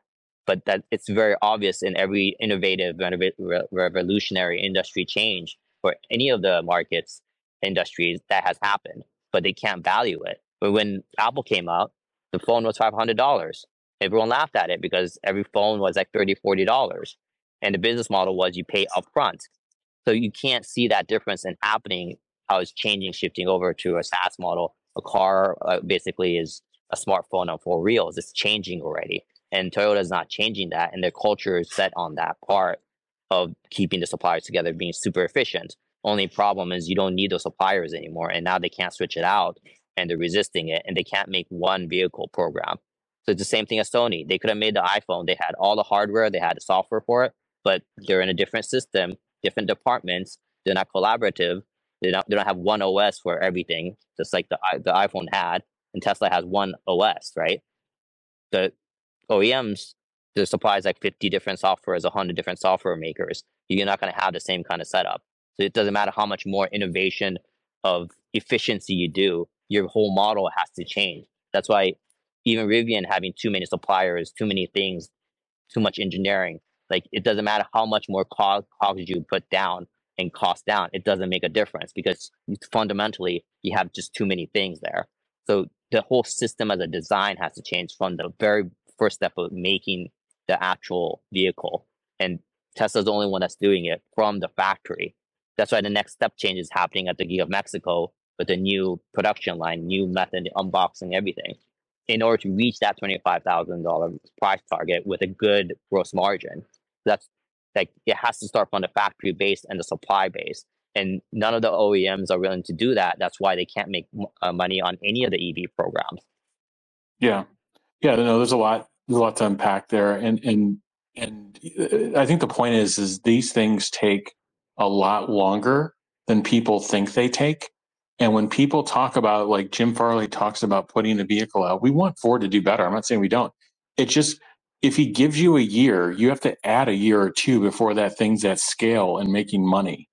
And and that's just how you have to think of these things. And you also have to think about the error rate of of them getting all those inputs in and getting it ready on time too. So, but whatever, these things take time to scale. Tesla started a lot earlier, and they and I think they were organized much more different. They were just a completely different culture, and it's hard to put, you know, uh, a value on that. But it's it's obviously immense. Uh, we're getting, you know, we're three hours into this space. Maybe we'll have we'll go through a couple more, uh, you know, questions or or, or comments. Um, you know, I, I I'm seeing this, this stuff about this affordable Ford coming across. Uh, I think Omar, you just posted our ultimate competition from Ford. Our ultimate competition is going to be the affordable Tesla and the low low cost Chinese OEMs. Um, so yeah, I think Ford. Here's the play. All right, here's the play. Ford. Two years from now, they were saying that they were going to come out with a new F one fifty, and maybe some other you know SUV or vehicle, and then they're like, holy shit, these things are going to take a long time to scale. They're going to cost a shit ton of money, and we're not going to get any scale doing these products, so we can get our EBITDA margins back over zero. We better get uh, and Tesla's doing this super low cost vehicle program where they're going to double their scale while we're sitting here like trying to put you know another F one fifty out.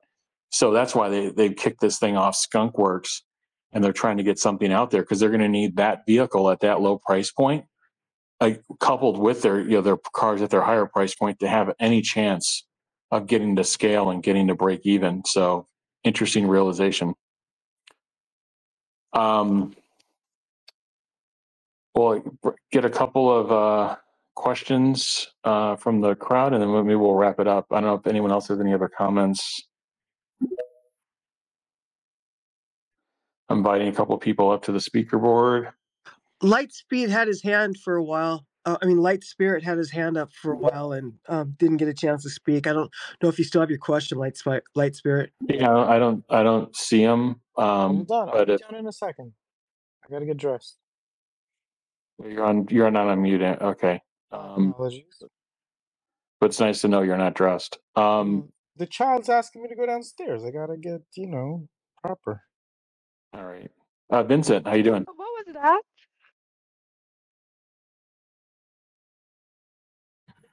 Vincent, go off mute. Hey, hi. Hi, Jeff. Yes. Hi. Yeah, just uh, listening to you guys. And uh, yeah, I think uh, we can draw quite a lot of parallels with the consumer electronics market as your experience also with the handphone market. You, you give the example of the, the Motorola uh, phones, right? Um, the Razr. Yeah. So I think people, perhaps I can understand Gary's point of view is that he's not too familiar with how consumer electronics work, perhaps. Okay, there's an, uh, yeah, he's perhaps familiar with Apple. But then when we look at how the price erosion happens over time, sorry about the jets flying up there. It's, yeah, let me just wait a while. Okay, so when, when we understand how the price erosion happens for consumer electronics, uh, let's put an example of VHS if people still remember or still have VHS tapes in their homes. When VHS was killed by DVD long time back, right? Um, people still didn't believe that this was going to be a, a, a superior format, right? So people still wanted their legacy, which is their VHS tapes in their homes and all that. I think these are the same kind of uh, mentality and the culture of people who uh, motorheads, right? They still like the sound of the, the, the engine revving, the burning of the petrol, and we can understand that. But this, they will die. I mean, they will fade out, right? I mean, they're going to get older. These are perhaps, um, again, like the people who, who own VHS tapes, they still use it, right? Maybe it's very rare today, but they might have that. So when it took it took some time, and then when you if you recall how expensive the first few market leaders in terms of DVD players were, they were like three thousand, four thousand dollars, right? Five thousand dollars for the DVP seven thousand from Sony. It was the market uh, benchmark of a premium uh, DVD player. So, and it when DVD was succeeded by Blu-ray and all that, a DVD player off the shelf, I mean, off the fob, became actually like fifty dollars US with license included. You cannot imagine that the three thousand dollar thing, which a couple of um, uh, yeah, more Yeah, six- no, I get your point. Tremendous deflation coming. Some of these things aren't going to even exist anymore uh, that we're that we're talking about, and I think people just need to like understand how these into these industries can transition over the next you know five year period. Um, Yeah. yeah. no, thanks, thanks, Vincent. Thanks for bringing that up. Um, we got a couple of people. People, if you got a question, ask the question. If you have a comment, make the comment. Um, uh, Sawyer, hey Sawyer, do you have anything for the the group we were just talking about? You know, kind of what's been tran you know what's been happening with the uh, earnings announcements today from Ford, and we've been talking about EV industry and the transition. How long it's going to take some of these competitors to get to, you know, break even or be able to make money making EVs. Yeah, hey guys. I mean, you guys have been going for three hours. I don't want really, really, really want to drag it out for people, but uh, it is interesting to see Tesla continuing to expand their advertising efforts on X. We'll see if they expand to Instagram and you know Facebook, which I think they w- will. Starlink is certainly already there and has been for quite a while. Um, I'm not of the opinion that you know Tesla can get, can get to 20 million vehicle sales a year simply by word of mouth.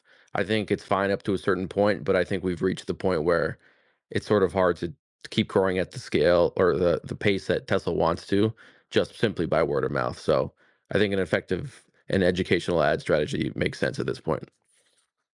Yeah, that was a lot of the conversation too. Uh, thanks, Sawyer. Um, let's keep hitting a couple new speakers. Um, Yoda and then Anthony, and then we may be calling it quits soon. Yoda. Yeah, th- thanks, guys. Um, yeah, I agree with Sawyer. Um, I think uh, the advertising uh, should, sh- it is about time for advertising to go in parallel with the price cuts. Um, I wouldn't be surprised if uh, maybe Super Bowl we get a surprise this year um, for uh, for advertising. Um, I, I do I do like um, if, if advertising and price cuts are strategic decisions. I don't mind the fact that Tesla erred on the side of price cuts so far because I would argue that the other OEMs would actually win uh, if if it was you know who can advertise um, the most effectively you know because they've obviously spent a lot of money. They've, they've got a track record there. So i don't i don't mind i don't think any of them can outcompete tesla um, on, on on price cuts so yeah but i think going forward it would be changed uh, jeff i had a quick question for you um, were you there when the house of cards tumbled for the mobile phone industry and i was wondering if so um, what are the telltale signs we should be looking out for um, as the OEMs start to have their cards fall? Well, it happened in waves. Um, really, and this could be a whole space. It could be two hours, but I mean, I, I would say is uh, there were companies that are completely wiped off the map. There's companies that had to just transform, that shrink and transform themselves, and are still doing, you know, well today. Uh, and then there's companies that obviously that transform the industry and are doing incredibly well, you know, Apple, Samsung, so forth. And there's some that just haven't figured it out, but have all the money in the world. So yeah, this could be a whole space within itself. But I think, um, I think the telltale signs are is when you when you, when you have um, a significant like innovative device that comes out uh, in a certain period of time, and nobody really figures it out for a couple of years. It's like, okay, well that's one telltale sign.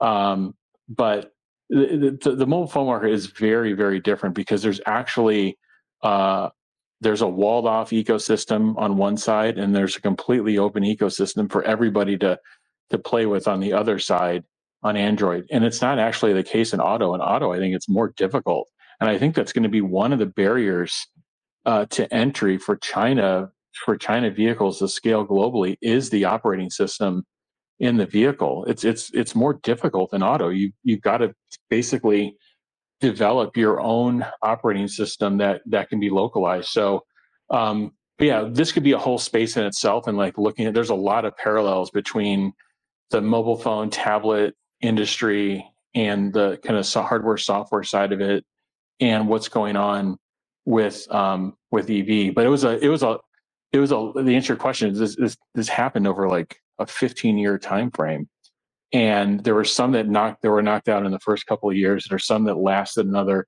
five to ten years. And there's some that are still here today and like thriving and making a bunch of money that you don't you don't hear much about. So yeah it's a probably a longer discussion but it's a great great question. Um uh what else? Any other big comments from the panel? Um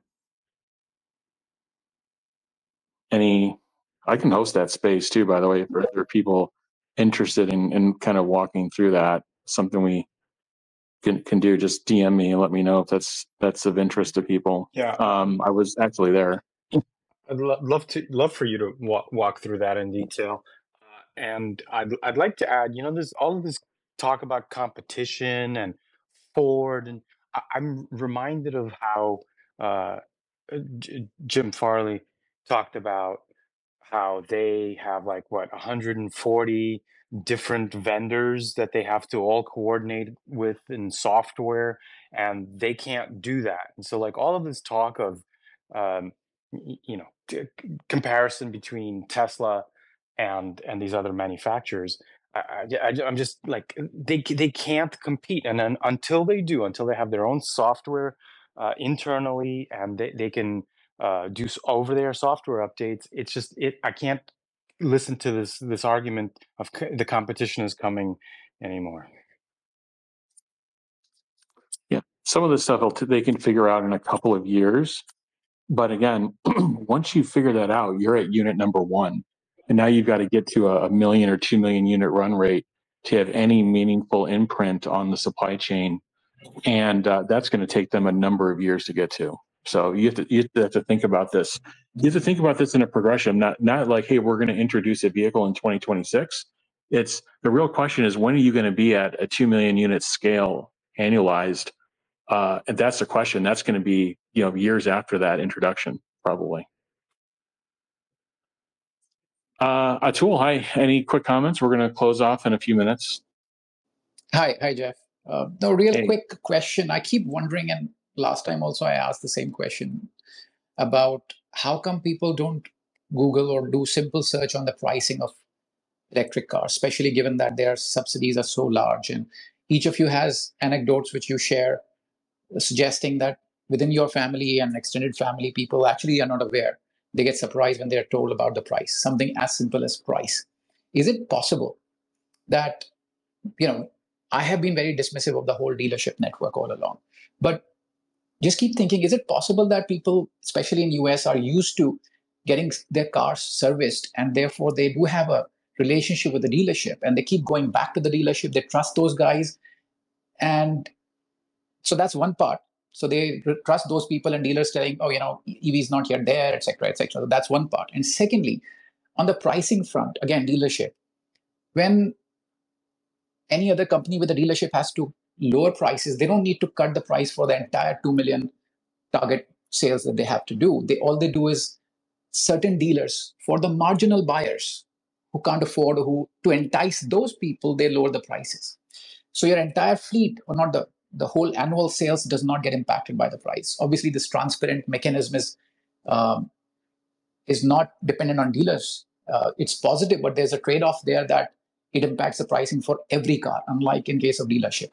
The trade-off obviously is that you you know share profits with the dealership network. But does that make sense? I still can't figure out with so much of subsidies, so much of state, federal subsidies coming through. People are not aware how cheap these cars are.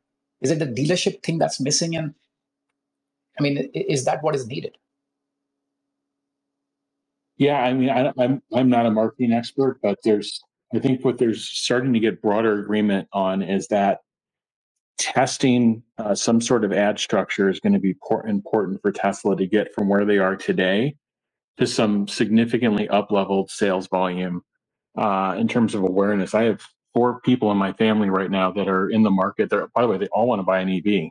So this whole thing of like people don't want EVs, you know, these are four people on ICE that are that want to go to EV, but just every one of them to a T thought that Teslas were over fifty thousand dollars, over sixty thousand dollars, and they, they were just not in their price range. When I said, well, with incentives, state and federal, you can you know be in the low thirties or even better. They're just like their their jaws dropped, and now they're looking at Tesla. So yeah, I don't I don't know the answer to the question. I just know that it's probably different regionally. I'm sure there's broader awareness in California and the in some of the East Coast parts, but as you, it's it's probably a regional thing. It's probably it's things that they have to go and test, and then they have to figure out like, after they do their their targeted advertising and their testing, was it effective in actually getting people to the website and getting them to go through the purchase process or not? Um, but without knowing that, I think that's where the frustration um, lies. And then you know that's where we're at today. That's a great question, Atul. Is it I don't know if it- I don't possible know if it's- certain parts of US don't have access to internet and people don't I mean 80% of the population does not have access to Google. I'm being sarcastic obviously, but it's a you know can't people just Google when they're wanting to buy EV and look at prices? I mean it's straight out there.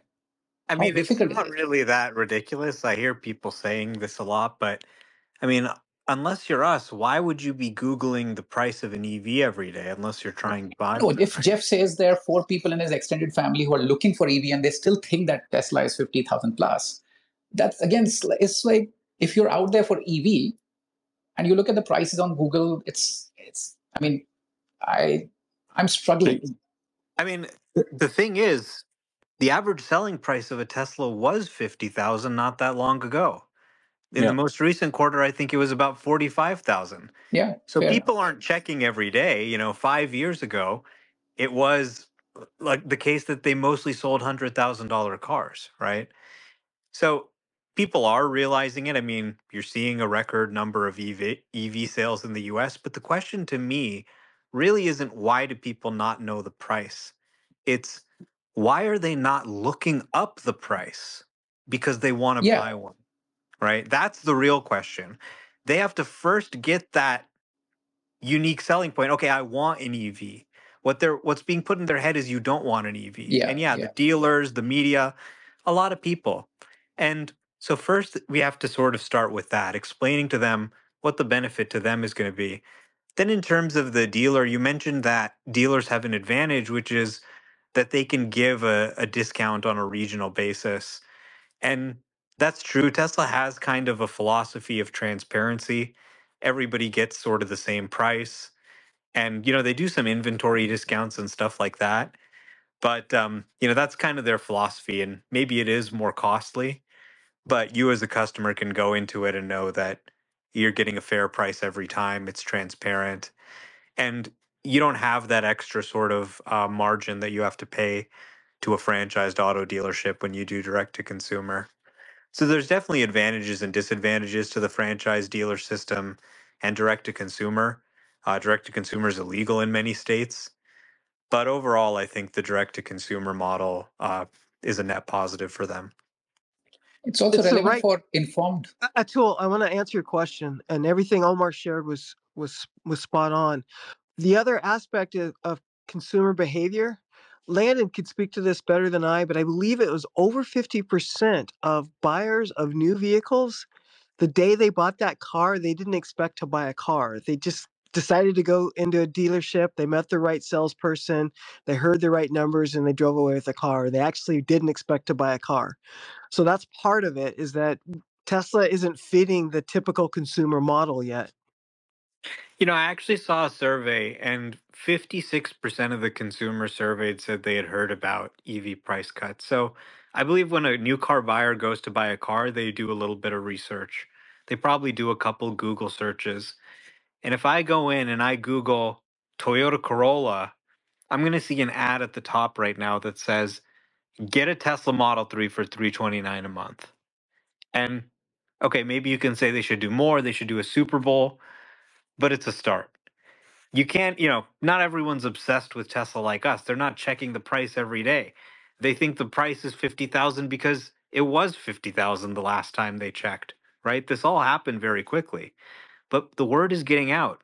Uber drivers are talking to each other. People are referring each other. People are seeing these ads on YouTube, YouTube Shorts, and sales are going up. They're selling more. You know, the way people talk sometimes, you'd think sales were in free fall, and they're trying to figure out why. Sales are going up, but people are just trying to figure out how to make it go up faster. So, you know, is there a lack of awareness about EVs? Of course. But at the same time, we also have the greatest level of awareness now that we've ever had. It's not like there used to be some great awareness and everyone just forgot. It's just that we're hitting a new phase of adoption. We're really getting into the mass market. So, overall, oh, I I think agree. they're making agree, some of the right moves with advertising. Omar, I agree, but I think my proposal from a year ago still stands. Just put a billboard in front of every Toyota dealer, put a Model Y or Model 3 there with the current price minus minus uh, the whatever it is, and that's it. Just the car, the price, nothing else. People still don't know how cheap it is, and obviously it will be a different billboard in Colorado than it will be in in Arizona or in California, but it's at the moment when the people drive to their Toyota dealership or to their Ford dealership, they see the billboard, they see the price, and they go, What? And that's why it happens. People decide we had a good discussion with nicolas on that on that point. People decide within five days that they buy a car. It's a very very short window and you catch them only at a very precise moment. And one thing you have to leave these you have to give these these car dealers i hate buying a car other than a tesla but they know how to sell right? They pressure sell they know exactly how to do the spiel. Nobody gets out of their dealership without buying a car. So you have to catch them before they go into the car but once they have taken the decision that they want to buy a car. So when they drive into those zones whether the mercedes dealers the toyota dealers whatever that's the billboard you buy. You don't go google you don't go the, the intelligent ones obviously go on the website but that's not everybody. People are not used to buying cars on the internet yet. People are not used on checking prices on the internet yet. They are used to driving into these damn dealerships seeing a sticker on a car having to negotiate uh, and and have the feeling they you know they're doing something and you have them to catch them physically at that moment Yeah, I mean, I'm not saying I'm against billboards, but at the same time, they sold model more Model Ys than Corolla last year. And I just checked on the website. They're advertising a starting price for the Corolla $22,000, and the Model Y starting price is $44,000. So you could get two Corollas for the price of one Model Y, you know, the purchase price. We're not talking about TCO here. And yet the Model Y still sold more. So, you know, maybe they could do some billboards, get a few more of those buyers. You know, whatever form of advertising works and has a great ROI, do it. You know, nobody's opposed to educating consumers, getting the word out, but people are actually picking up on it. And um, yeah, I mean, I think they're going to have a tougher and tougher time going forward. We're, we're, we're underproducing. I mean, let's face it. I mean, I'm the first one cheering on Tesla from morning to night, but there are factories that could have a higher rate of, of output that are currently not doing it. Why are they not doing it? Well, because they're very good and very clever at understanding how much demand there is and and uh, and, and adjusting production to it. But where I think we're really lacking it, and I, I, I criticized that in the last earnings call when the CFO, I forgot his name, uh, was talking about the ad budget. You know, I mean, it's all good that you're testing stuff, but I haven't seen a billboard. I haven't seen anything, and I'm I know there are now a couple of YouTube and and, and X videos out there, but there is, in my view, no understanding how the non-intelligent, I'm sorry, I don't want to be so disparaging, but the, the not, you know, tech savvy mm, X user, YouTube user, buyer buys a car. They- They're completely different people. I, I, I current, I, I have, and I help a lot of friends buying Teslas. It is incredible that first hurdle. They, they have the feeling they will not know how to drive the car. They have the feeling that the, the, the showroom will be lots of tech people that don't speak their language. They have no idea how the price comes together. None of them ever goes on the website. It's incredible. I mean, I know how stupid people are. They're my friends and I love them. But it's it's really incredible how the average car buyer goes for it. And and and I just have the feeling that Tesla is overeducated, great people, love, you know, everything they do, but they don't understand the average consumer here. So does it again? Your very good points. Thank you so much. So does it actually coming down to the point that yes, the ads and education, all that is needed. At the same time, there is still a hurdle where people who've been buying car for decades are used to, and they think they might need servicing. They think, and you know, uh, the Tesla customers know you don't need servicing. You don't need that much of one-on-one hand-holding as the dealers do. But they, these people are used to any problem they call the dealer or anything they'll just go to the do- dealer and they'll get it fixed. So maybe it's just Nobody you know, likes the dealer. Nobody likes the dealer. If I- they I could- don't, if but- they realized they could do it online and skip the dealer, they would love it. I mean, people rave about it. Ford was just on their earnings call. They said our net promoter score is 10 points higher with Ford Pro because they don't have to go to the dealer. Oh wow. Well, that's a good thing. The, the other thing is The that people are uh, of cars will not be at a dealer, okay? Nobody's going to go buy a self-driving car from a dealership. The dealerships are toast. And yeah, there's a certain amount of inertia to the market, right? Yeah, you have those relationships. So maybe somebody who would have been well served by an EV just out of habit goes back to the dealership and gets a new car. And then you have to wait three years for them again to go up for a car purchase. But that's just the way things are. Nope, you don't have a any in any market, a shift where everyone just flips a switch overnight. It's going to take time, and most of these dealerships will probably go under. You're already seeing massive consolidation in the industry. These dealerships are really getting concentrated among a few, you know, fewer hands. And in many cases, the OEMs are actually buying out their dealerships and shutting them down so they have fewer locations.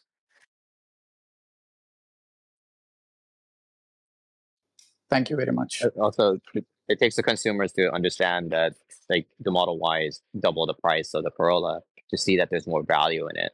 Nobody thinks of the iPhone as a cell phone. They think of it as a computer in your hand. That's why people are willing to pay double the price of what it initially debuted at. Five hundred dollars now it's a thousand, right? But people don't flinch because they see it as a computer in your hands. The value is significantly more. And if you're, the car can drive 80, 90 percent of the time on FSD, that's more valuable for me because I don't get any stress. My my driving is so much significantly better in LA, right? So when you understand the value, you also willing to pay more. And I know for for one example of what you're saying is true about the dealership in Japan. They have a very good service. So my friend's already been told, hey, your car is like 12 years old. You have like 200,000 uh, kilometers. Maybe you should switch out to a new one. But it doesn't occur to to people that on ice that you don't need to go to service. Like they go every few months. You don't have to do any of that for Tesla. Like it doesn't occur to them. So it's a completely different setup. The the price range is different in Japan, so it's not there yet. But when twenty five thousand dollar car comes out, the TCO will make sense because that's also the change in business model. And the same with the cell phone. The business model changed to monthly payment rather than upfront payment. So there's that change that needs to happen to get even more of the masses. That's uh, where the ASP is lower. Yeah. So I think there's been a, a awesome discussion. We're we're running about an hour over than we normally do. But I think it was great. Um, I think you know this is Cyber Bulls. Uh, please follow everyone uh, on the speaker panel. They're all really good, intelligent uh, people that have you know spent a lot of time studying you know the work they do. Um, thank you again for everyone's input on the on the call. We'll do we do this every week on Tuesday, you know, afternoon uh, Pacific time, and late afternoon, evening uh, Central and East Coast time, and then we've got a show, uh, video show podcast on Friday morning, the Cyber Bowl. So please uh, tune into that. And uh, again, thanks thanks everyone for all your inputs. And uh, we're going to shut it down. Thank you. Bye bye. I've created a website that is the most comprehensive resource for the Tesla investor. Please check it out. Simply go to my website at herbertong.com.